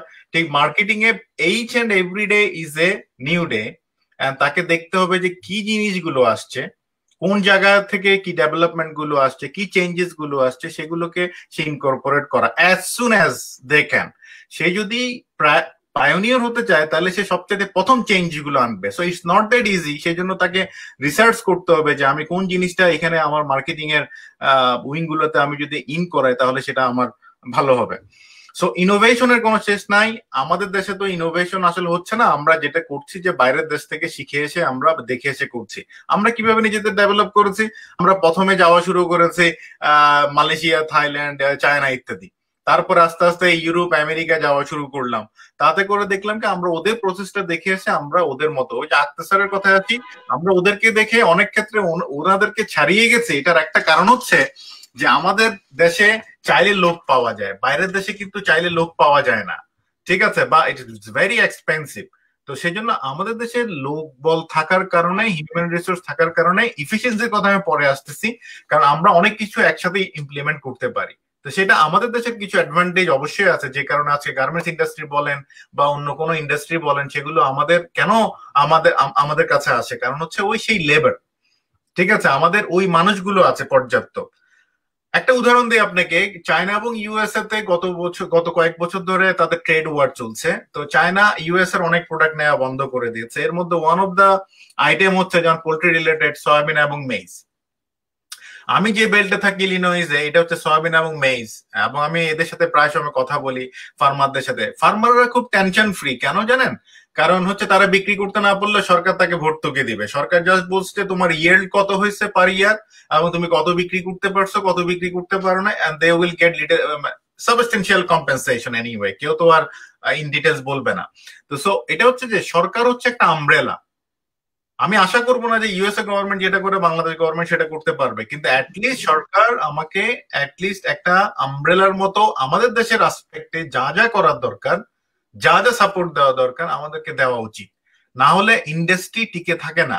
এই যে এখন ট্রাম্প গভর্নমেন্ট ভার্সেস চায়না বা অন্য দেশের সাথে যে ঝামেলাগুলো আছে ট্রেডে ট্রাম্প তাদেরকে টিকিয়ে রেখেছে। বলছে no keep doing your business keep doing your farming works আমি দেখছি, আমরা দেখছি। তো সো এইরকম একটা মানে আশ্বস্তের জায়গা আমার দরকার। কারণ আজকে প্রান্তিক খামারিরা, এই যে একটা প্রশ্ন আমি দেখেছি, তাহলে কি শেষ? হ্যাঁ এই যে একটা প্রান্তিক খামারিদের একটা হতাশা, কারণ তারা দেখছে চোখের সামনে অনেক ফার্ম বন্ধ হয়ে গেছে, অনেক দেনা রেখে ইয়ে হয়ে গেছে, এবং তাদের খারাপ দিন শেষই হচ্ছে না। তাদের জন্য আমার একটাই পরামর্শ, ভাই, বাংলাদেশে যেহেতু কোনো থিওরি কাজ করছে না, বাংলাদেশের যেহেতু ওই যে যেটা হচ্ছে ফোরকাস্টিং মিলছে না সেহেতু আপনাকে you have to keep doing your farming আপনি ফার্মিং একদিনের জন্য বন্ধ রাখতে পারবেন না। কমিয়ে বাড়িয়ে অ্যাডজাস্ট করে সেটা আপনার সিচুয়েশন আপনার প্রোডাক্টটা যেখানে আপনি বিক্রি করেন, সেখানকার অবস্থা অ্যানালাইসিস করে নিজেকে একটু এক্সপার্ট হতে হবে এইসব বিষয়ে। এবং আপনি ওই জিনিসগুলো করতে হবে যেটাতে আপনি এমন রিস্ক নেবেন না যেটা আপনি টলারেবল না। আপনি খামারিরা কিন্তু আটকালে কিন্তু সে কি করে? মানে তার সাথে তার একটা ট্রানজেকশনাল সম্পর্ক থাকে এজেন্টদের সাথে সে আটকায় যাচ্ছে এজেন্টদের সাথে থাকে ব্রিডার ফার্ম বা ফিড ফিড কোম্পানিগুলোর সাথে তারা আটকে যাচ্ছে। আসলে এটা একটা চেইন এফেক্ট তো সো আপনাকে এই জিনিসগুলো বুঝতে হবে মার্কেটিং এর। তো সো সেই জন্য আমাদের এই জিনিসটা দরকার। আর একটা হচ্ছে যে এক্সপোর্ট মিটের ব্যাপারটা যেটা আছে, সেটা কিন্তু রফিক ভাই, আপনারা কিন্তু যারা কাজ করছেন, এটা চালাই যান। এটা আজকে আপনারা বলতে বলতে বলতে একটা পর্যায়ে আমরা একটু একটু মানে আগাচ্ছি। আমরা করব কি, করব না চিন্তা করছি। ওকে দুই হাজার পঁচিশ, দুই হাজার তিরিশ এক একজন এক এক ভাবে চিন্তা করছে। আমাদের কোম্পানিও চিন্তা করছে, ওকে, যে আমরা চিন্তা করছি লোকাল এই জিনিসগুলো আমরা যখন স্বাবলম্বী হব, তখন আমরা হয়তো হ্যাঁ আমরা ফোরকাস্টিং করছি, ওকে, দশ বছর পরে আমরা চিন্তা করব। বাট আমরা কিন্তু ইনফরমেশন গ্যাদার করছি। তো সো আপনারা কিন্তু এই কাজটা চালিয়ে যান যে একসময় আমাদেরকে এক্সপোর্টে যেতেই হবে। আমরা ইউএস অনেক দূরের মার্কেট আমি বলব যে মিডল ইস্টে অনেক কনজামশন হয়। এইটা একটা বড় মার্কেট আমাদের জন্য। তো সো এই ধরনের কাছের মার্কেটগুলো যেমন থাইল্যান্ডে আপনার ওই যে চিকেন লেগের খুব ডিমান্ড যেটা যেটা আমরা অনেকে হয়তো খাই না। কিন্তু দেখা যাচ্ছে ওই চিকেন লেগটা কিন্তু ওখানে স্কিনের খুব ডিমান্ড অনেক দেশে। তো সো আমরা হয়তো অনেকে স্কিন খাই না। তো সো এগুলো যদি কমার্শিয়ালাইজেশন হয়, এগুলো যদি ভ্যালু এডিশনের জায়গাগুলো থেকে হয়, তাহলে কিন্তু আমরা জিনিসগুলো মার্কেটটা পাবো। আর হচ্ছে, যেটা নিয়ে বারবার কথা হচ্ছে সাস্টেনেবিলিটি তিনটা আসপেক্ট একটা হচ্ছে ইকোনমিক একটা হচ্ছে এনভায়রনমেন্টাল আর একটা হচ্ছে সোশ্যাল এইটা আপনাকে রুট লেভেলে বুঝাতে হবে, এটা আমি অল্প কথা এখানে বলতে গেলে আমার পিএইচডি সাস্টেনেবিলিটির উপরে, তো সো আমি এখানে বলতে গেলে হারাই যাব। সো এভরি ডিপার্টমেন্ট পিপল যারা কাজ করছেন অ্যাগ্রো সেক্টরে লাইভ স্টক সেক্টরে যারা যখন কেউ সেলসে কাজ করছেন, কেউ প্রোডাকশনে কাজ করছেন, কেউ সাপ্লাই চেনে কাজ করছেন, যে যে জায়গায় কাজ করছেন, একটা কথা মনে রাখবেন, আপনাকে আপনাকে আরও নলেজেবল হতে হবে আজকের চাইতে। আপনাকে আরও বেশি ইফিসিয়েন্সি শো করতে হবে। আমি খুব একটা কথা বলতে বাধ্য হচ্ছি, সেটা হচ্ছে যে আমাদের ইন্ডাস্ট্রিতে যে লোকগুলো কাজ করে, তাদের বেশিরভাগ হচ্ছে গো উইথ দ্য ফ্লো মানে নিজেকে ডেভেলপ করার কোনো ইয়ে নাই। দেখেন আমরা এই বয়সে, আমরা এই সময় ডেভেলপ করছি, নিজেকে সাস্টেন করানোর জন্য। আমেরিকায় টিচিং বলেন, আমেরিকায় জব বলেন, বা যে কোনো জায়গায় জব বলেন, আপনাকে প্রতিদিন পারফর্ম করতে হবে। Then you will survive otherwise you will not survive ইন্ডাস্ট্রিতে যারা কাজ করছেন তারা। আমাদের এখানে নতুন যারা জয়েন করে, তারা দেখা যাচ্ছে ব্যাঙের মতো তিন দিন এখানে, তা পাঁচ দিন ওখানে, দশ দিন ওখানে, একদিন নাই। তো সো ইন্ডাস্ট্রি আপনি আগে ডিটারমাইন হন, আপনি নিজেও কষ্ট পাবেন না ইন্ডাস্ট্রির মানুষজনকেও কষ্ট দিবেন না। কারণ আপনাকে দুই বছর পালার পর আপনি হুট করে ইন্ডাস্ট্রি ছেড়ে চলে গেলেন। ইন্ডাস্ট্রি কেউ না কেউ বেনিফিটেড হলে তাও মানা যায়। কিন্তু আপনি ইন্ডাস্ট্রি চেঞ্জ করে ব্যাংকে চলে গেলেন আপনি। তাহলে দরকারই ছিল না আপনার। এফএমসিজি তে চলে গেলেন। আপনি লাইভ স্টক নিয়ে থাকেন there is a potential to gain lot of things আমি বলব। এখানে অনেকগুলো কথা আছে। সেগমেন্টেড এর ব্যাপার বলছে, পৃথিবীর বিভিন্ন দেশে চিকেনকে বিভিন্ন পার্ট করে বিক্রি করা হয়, এটা সবাই জানে। যেমন চিকেন ব্রেস্ট আছে যেটা হচ্ছে উইংস আছে থাই আছে লেগ আছে, এই আমাদের দেশেও এই কালচারটা তৈরি করতে হবে। কারণ হয়তো বাচ্চারা দেখা যাবে যে ব্রেস্টের দিকটা পছন্দ করে, আরেকজন হয়তো ড্রামস্টিকটা পছন্দ করে, আরেকজন হয়তো উইংসটা পছন্দ করে। এগুলোর রেসিপি পর্যন্ত আপনাকে প্রমোট করতে হবে। আমরা কিন্তু এই জিনিসটা করি না। আমি যেসব জায়গা থেকে চিকেন কনজামশন করি, তারা আমাদেরকে, আমাকে ইমেলে মানে ইমেলের পর ইমেল করে, তুমি কি এই রেসিপি ট্রাই করেছ? তুমি কি ওইটা করেছ? তুমি কি এইভাবে কুক করে দেখেছ? তার মানে কি? এইভাবেই তো কনজামশন বাড়বে। যখন আপনি বুঝাবেন যে এই জিনিসটাকে এইভাবে প্রসেস করা যায়, যেমন আমাকে আমার ডিরেক্টর ওদিন একটা ফিশ দিল যে রেইনবো ট্রাউট এবং উনি আমাকে আবার বল রেসিপিও দিয়ে দিলেন, এটা এইভাবে গ্রিল করতে হয়। এবং আমি দেখলাম যে ওই গ্রিল করে খাওয়াটা ওটা আসলে মাছ টেস্টিয়ার দেন আমি কুক করে রান্না করাটা। তাহলে প্রত্যেকটা জিনিসের একটা স্বকীয়তা আছে। কোন জায়গায় কীভাবে রান্না করলে কীরকম টেস্ট হবে, এই জিনিসগুলো কিন্তু পোলট্রি লোকদের, পোলট্রির কেউ না কেউ নিউট্রিশনিস্ট যারা আছে পোলট্রি রিলেটেড তারা কিন্তু এই জিনিসগুলো আমাদেরকে, তো so it's a it's a whole bunch of combination of works যে আপনি যদি একটা জায়গায় শুধু হ্যাঁ রেয়ারিং করলেন, আপনি ওটা করলেন, আপনি বিক্রি করলেন, আপনি প্রসেস করলেন, আপনি ফিট ভালো করলেন, হবে না। ঠিক আছে? তারপরে হচ্ছে যেমন ধরেন আপনার ডাইভার্সিফিকেশন লাগবেই। ডাইভার্সিফিকেশন লাগবেই। আমি আমি ডাইভার্সিফিকেশনের বিপক্ষে না, কারণ ডাইভার্সিফিকেশন থাকলে কখনো যদি ধরেন সোনালি যদি আপনি দাম না থাকে বা ইয়ের দাম থাকে, ইয়ের দাম থাকলে ব্রয়লারের দাম না থাকলে হয়তো সোনের দাম থাকে, তাহলে আপনার লস করার সম্ভাবনাটা কমে যায়। কিন্তু মেক শিওর আপনার এক্সপার্ট কি বলছে, একই ফার্মে সোনালি করা যাবে কিনা, একই ফার্মে লেয়ার ব্রয়লার করা যাবে কিনা, একই ফার্মে টার্কি এবং ইয়ে করা যাবে কিনা, এবং সেগুলো কিন্তু একটা দেখতে হবে। আর ব্রয়লারের ব্যাপারে আমি আরেকটা জিনিস বলি, বাইরের দেশে টু কিলোর উপরে কনজামশন করে, তখন রিয়েল মিটের টেস্টটা আসে। আমাদের দেশে একটা বড় একটা হেবিট হচ্ছে ওয়ান পয়েন্ট টু ফাইভ মানে সোয়া কেজি যেটা বাংলায় বলে, এই সোয়া কেজি চিকেন সোয়া কেজি চিকেন বিক্রি করলে না ফার্মারের লাভ হয়, না ভোক্তা এটা টেস্ট পায়। এটা অনেকটা মেল ডাউন হয়ে যায় ভালো করে কুক করলে। তো সো আমি আর দুটো পয়েন্ট বলে ছেড়ে দিচ্ছি। সবচেয়ে বড় কথা হচ্ছে যে ফাইনাল যে খামারির যারা আছে, তাদের কাছে মেসেজ হচ্ছে আপনি খামার করে যেতে হবে। আপনার একটা না একটা সময় আপনাকে একটা খারাপ সময়ের পর একটা ভালো সময় আসে। এখন ওই যে আক্তার ভাই নাকি, রফিক ভাই বললেন যে, আমি আজকে প্রাইস দেখলাম একশো বিশ টাকা, আপনি ফার্ম করলেন আজকে। আজকে বাচ্চা তুললেন। এই সপ্তাহে বাচ্চা তুললেন। তো আপনার বাচ্চাটা রেডি হতে হতে আঠাইশ দিন লাগবে বা তিরিশ দিন লাগবে। তো এই তিরিশ দিন পরে কিন্তু মার্কেটটা এটা থাকবে না। তো সেটা জেনেই কিন্তু আপনি করবেন। এটা কিন্তু হয় না। এই থিওরি হয় না। সেই জন্য আপনাকে কন্টিনিউয়াস ফার্মিং করতে হবে। যখন মনে করবেন আপনার প্রিডিকশন বলছে যে আপনার আঠাইশ দিন পরে প্রাইসটা কম পাবেন মানে আঠাইশ দিন মানে ফোর উইকস মানে এক মাস পরে আপনি যদি প্রাইস কম পাওয়ার সম্ভাবনা থাকে, তাহলে আপনি রেয়ারিংটা কমাই দেন। আপনার যদি ক্যাপাসিটি ফাইভ থাউজেন্ড থাকে, আপনি হয়তো দুই হাজার করলেন। রিক্সটা একটু মানে প্লেয়েবল রিক্স নেবেন আনপ্লেয়েবল রিক্স নেবেন না। এবং ফার্মিংটা বারো মাসই করতে হবে, তাহলে আপনি লাভ করতে পারবেন। এবং আমরা যারা আমি অন্যদেরও যারা চিনি, যারা আজকে আমরা মোটামুটি একদম ছোট থেকে বড় হয়েছি, তাদের ফর্মুলা একটাই যে আমরা করে গেছি। এখনও করে যাচ্ছি, ঠিক আছে? করে যাচ্ছি এবং একটা না একটা সময়, যেহেতু ভোলাটাইল মার্কেট আমাদের ভোক্তারা যখন প্রাইস আপনার সত্তর, আশি, নব্বই, একশো টাকা নেমে যায়, তখন কোনো কথা বলেন না। কিন্তু যখন একশো তিরিশ, চল্লিশ থেকে যখন রোল করা শুরু হয়, তখন ক্রেজি হয়ে যায় সোশ্যাল মিডিয়া ভাষায় ফেলে। কিন্তু তাহলে আপনি কি একটু খবর নিয়ে দেখেছেন? আপনাকেও তো একটু জানতে হবে।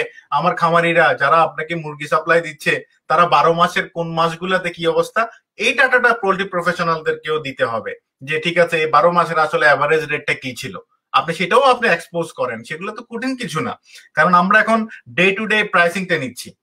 আমি আবারও বলছি যে আমি কথা বললে অনেক বলতে পারি। লাস্টলি সেফ মিট প্রডিউস করা পসিবল আমরা করছি, এবং আমরা করছি, সেটা জাস্ট কানেক্ট করতে হবে, এবং কেউ যদি অসুদ উপায় অবলম্বন করে সেটা হচ্ছে খুবই কম পার্সেন্টেজ আমি মনে করি, আর সেগুলো থেকে, সেগুলো কানেক্ট করা, সেগুলোকে কানেক্ট করা বলতে আমি বুঝাচ্ছি ইনফরমেশন গুলোকে শেয়ার করা, ঠিক আছে? কে কীভাবে ফার্মিং করছে? আর সবচেয়ে বড় কথা হচ্ছে যে, ভাই, আপনারা এমন কোনো রিসার্চ করেন না, যে রিসার্চের কোনো আগামাথা নাই, নিজেকে একটু নাম করার জন্য ভাষায় দিলেন, পোল্ট্রি ইন্ডাস্ট্রিকে ধ্বংস করে দিলেন হ্যাঁ আপনি খাবারে বিষ পেয়েছেন, অমুকে এই পেয়েছেন, এইসব রিসার্চ আজে বাজে রিসার্চ করে আমাদেরকে ধ্বংস করেন না একটা ইন্ডাস্ট্রি গ্রো করতে যথেষ্ট সময় লাগে। গত পঁয়ত্রিশ বছর আমরা মাথার ঘাম পায়ে কত লক্ষবার পড়েছে এবং কত রকম টেনশন গেছে, কত রকম ধ্বংস হওয়ার মানে আপনার ধনী আমরা পেয়েছি। যারা ইন্ডাস্ট্রিতে ইন্ডাস্ট্রি করে গেছে, যারা ব্যবসা করে গেছে, তারা জানে। ঠিক আছে? টিকে থাকা অনেকে ঝরে গেছে। রফিক ভাই জানে চিটং এ কয়জন বড় বড় বিগ ছিল? চিটং এখন কোনো প্লেয়ারই নেই। তো ওরা কি এমনি বিজনেস ছেড়েছে? না পারতে ছেড়েছে, না না না প্রফিট গেইন করতে পেরে ছেড়েছে। তার মানে কি? এটা এত ইজি না।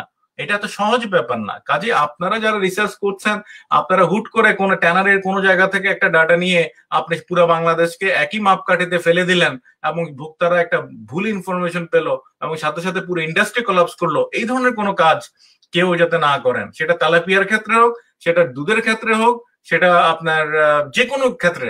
কৃষকদের দুঃখটা একটু ক্লোজলি বুঝার চেষ্টা করেন। দেখেন শাহেক সিরাজের কথা আমি খুব বলি, যে যাকে দেখে আমরা অনুপ্রেরিত হয়েছি, উনি নিজেও কিন্তু খামার করেন না। তো উনি নিজে খামার করলে না বুঝবে। এখন উনি যায় যে সুন্দর খামার করে তার ছবি তুলে পাঠান এবং এটা থেকে এনকারেজ ফিল করে আপনি করলেন এভাবে খামারও করবেন না।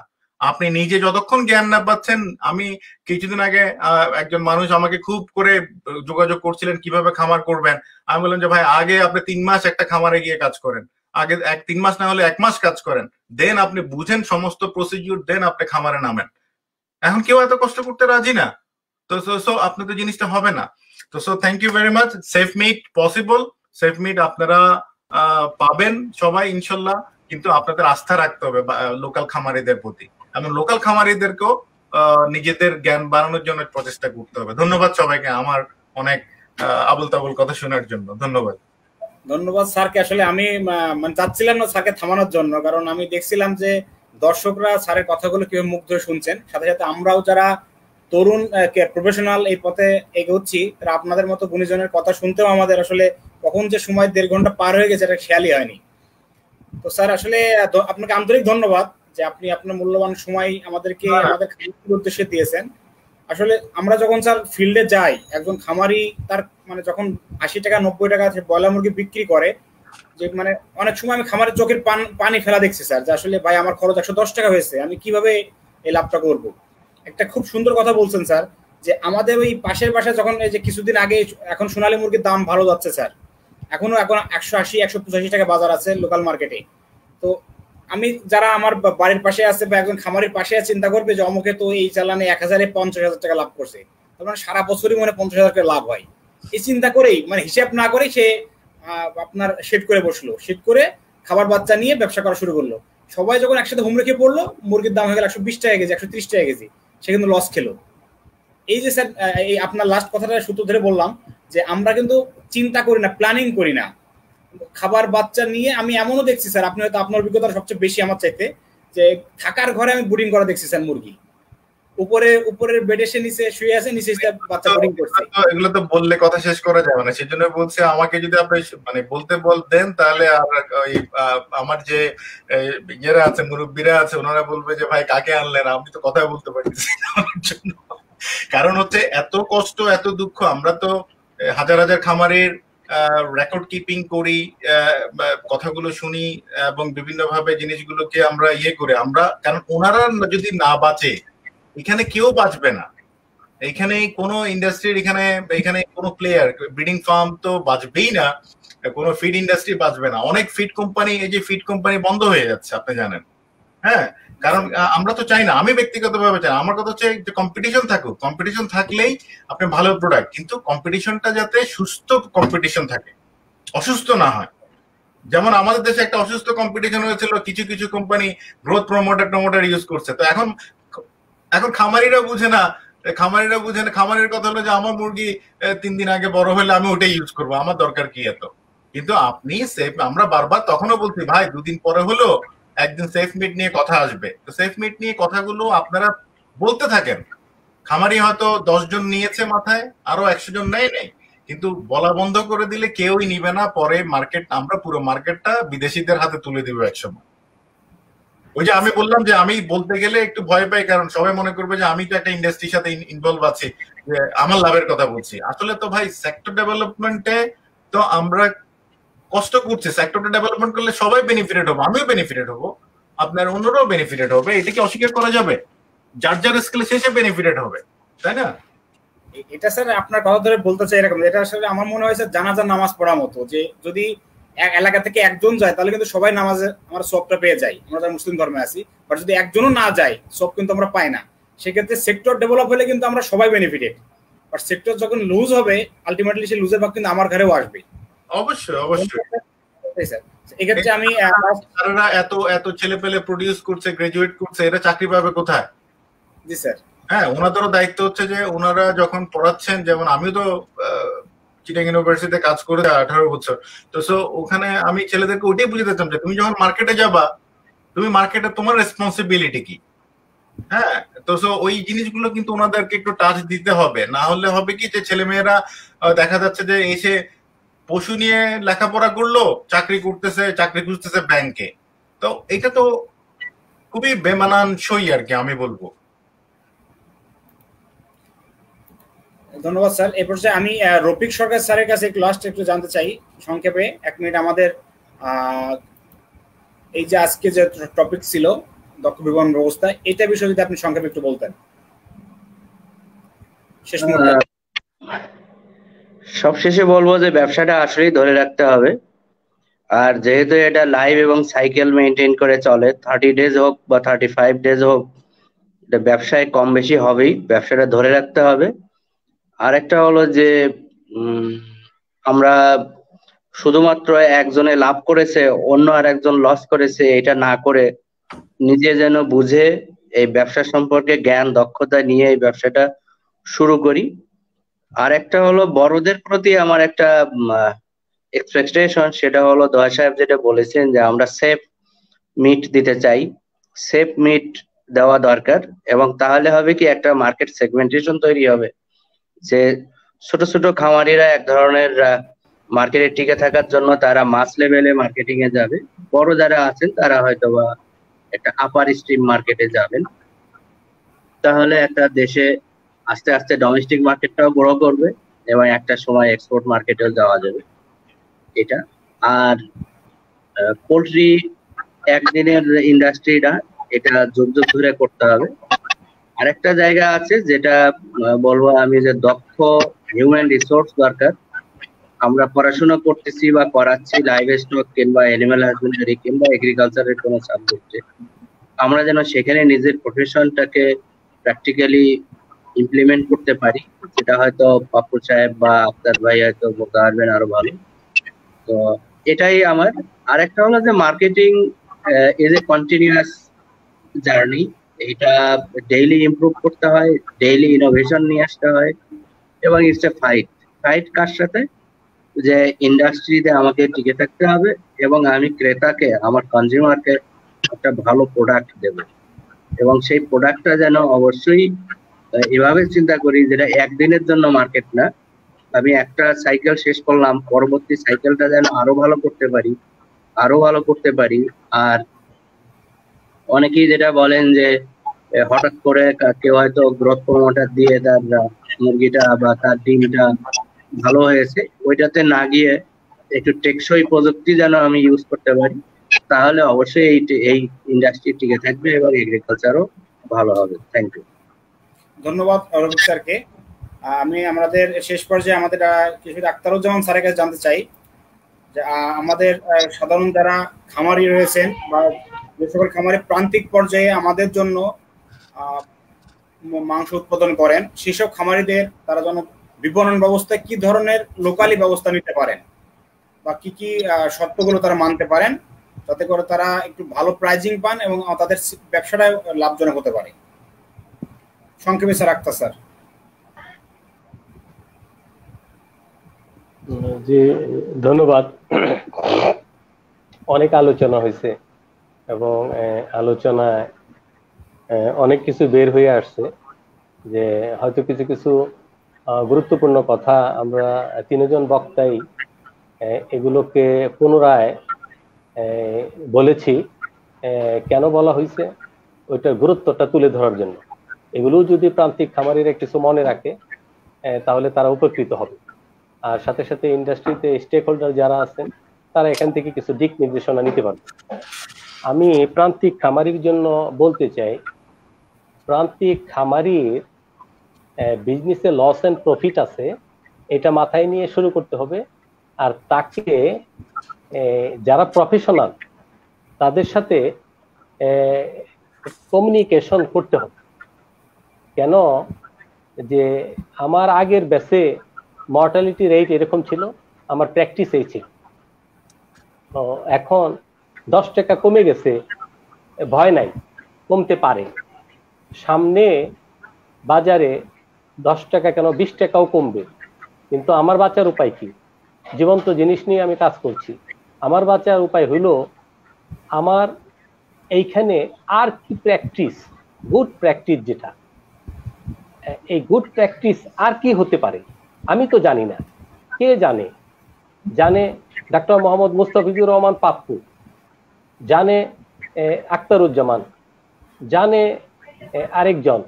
জানে আরেকজন। তাদের সাথে যোগাযোগ রক্ষা করতে হবে। এবং সেখান থেকে শুনে তার মধ্যে পরিবর্তন আনতে হবে কি? মর্টালিটি কমানো। কি খাদ্যের মধ্যে কোনো ত্রুটি লক্ষ্য করতে পারি কিনা?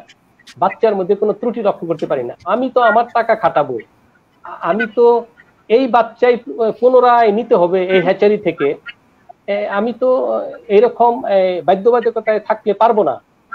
এখন আমাদের ক্ষুদ্র খামারিদের দুর্বল দিক কোথায়? এটা বলতে কষ্ট লাগতেছে। আসলে তাদের এই ফার্ম পরিচালনা করার মতো অনেকেরই সক্ষমতা নাই। তারা বাকির জালে বন্দী হয়ে গেছে।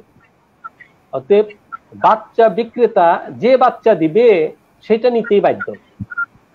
খাদ্য বিক্রেতা যে খাদ্য দিবে, সেটা নিতে বাধ্য। তার ফ্রিডম নাই। আমরা অনেক কথা বলছি যে ভালো ইনপুটস নিতে হবে ফর ভালো আউটপুট আমি ইনপুট ইনপুট যে নিব I don't have enough freedom কেন? I am not capable of buying আমার তো টাকা নেই। তাহলে আমি কি? আমি তো বন্দি হয়ে গেছি। এই বন্দি জীবন থেকে যদি একটু বের হইতে পারে, এখানে সরকারের প্রণোদনা লাগবে। ব্যাংকিং সেক্টরে পোলট্রি সেক্টরকে কৃষি লোনের মতো আওতায় নিয়ে আসতে হবে। কৃষিতে যেরকম সরকার ভর্তুকি দেয়, ক্ষুদ্র খামারিদের সরকারের কিছু লোন দিতে হবে। পোলট্রি খামারি দেখে ভয় পাইলে হবে না যে এনভায়রনমেন্টের জন্য ক্ষতিকর যে এটা বার্ড ফ্লু আসে, এটা রানীক্ষেত আসে, এটা গাম্বুরু আসে, এই ব্যাংকের ব্রাঞ্চ ম্যানেজার বলে যে, যেভাবেই হোক বুঝাই শুনে বিদায় করো, এখানে টাকা দেওয়ার দরকার নাই। তাহলে ক্ষুদ্র খামারি তো পাবে না কিছু। তার পাশে কে দাঁড়াবে? তার পাশে কিন্তু ওই যে বাচ্চা বিক্রেতা, সেই দাঁড়াচ্ছে। ওই যে খাদ্য বিক্রেতা, সেই দাঁড়াচ্ছে। এই জন্য সে বন্দি দশায় থাকলেও সে দেখে যে, লাভ এইবার না হয়, পরে হবে। এই বন্দিত্বর কারণে সে কিছুটা ভালনারেবল আর দ্বিতীয় কারণ হইল প্রাইস ফিক্সিং আমি এখানে বিশেষজ্ঞ না, বিশেষজ্ঞ দোহা সাহেব প্রাইস ফিক্সিং মেকানিজমে তার অংশগ্রহণ নাই। Who will decide to fix the price এটা সে জানে না। অর্থাৎ, এই, আমি যদি না জানি কৃষিজাত পণ্যের প্রাইস কি হবে?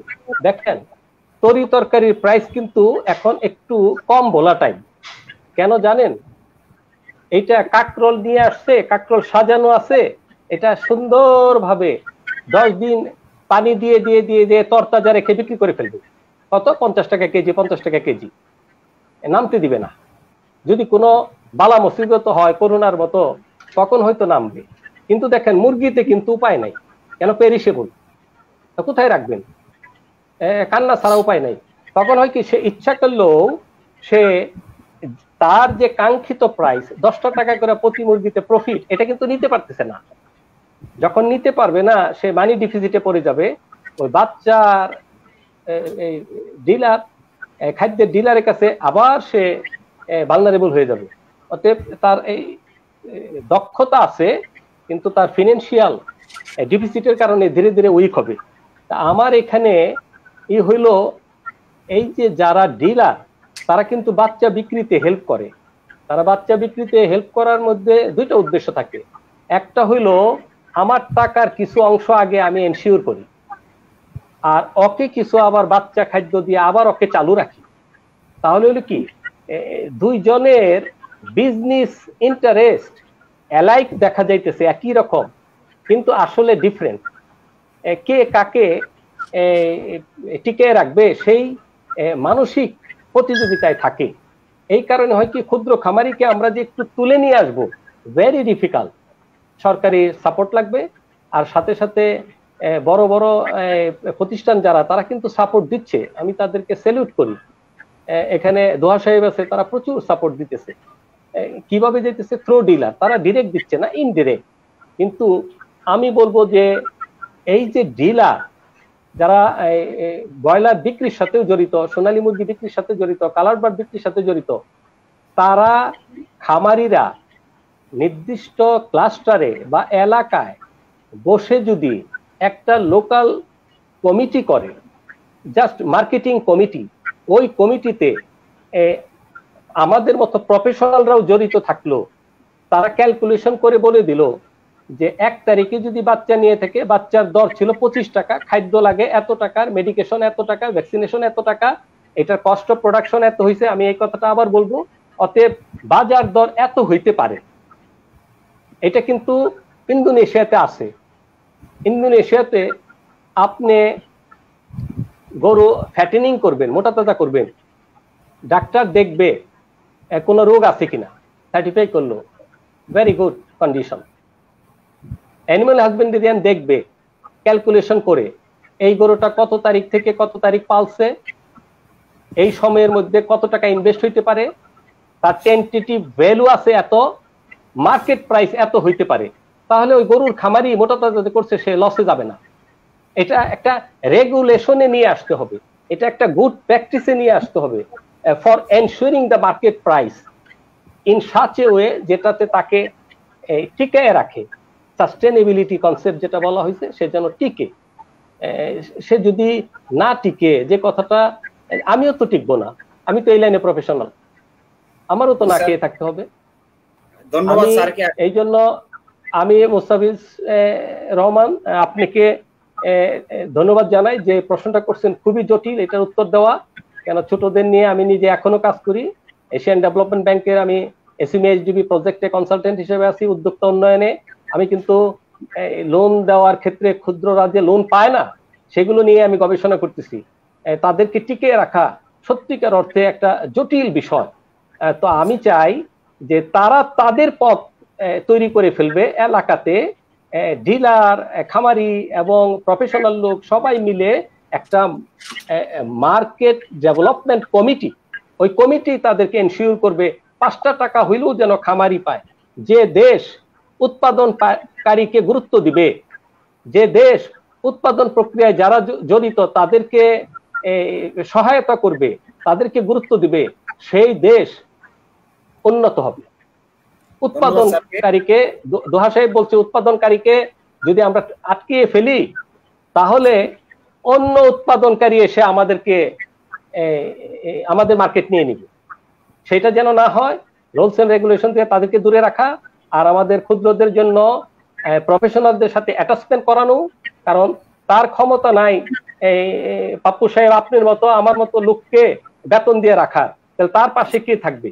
তার পাশে থাকবে আমরা প্রফেশনালরা কমিউনিকেশনের যুগ ডিজিটাল যুগ, একটা ফোন করবে।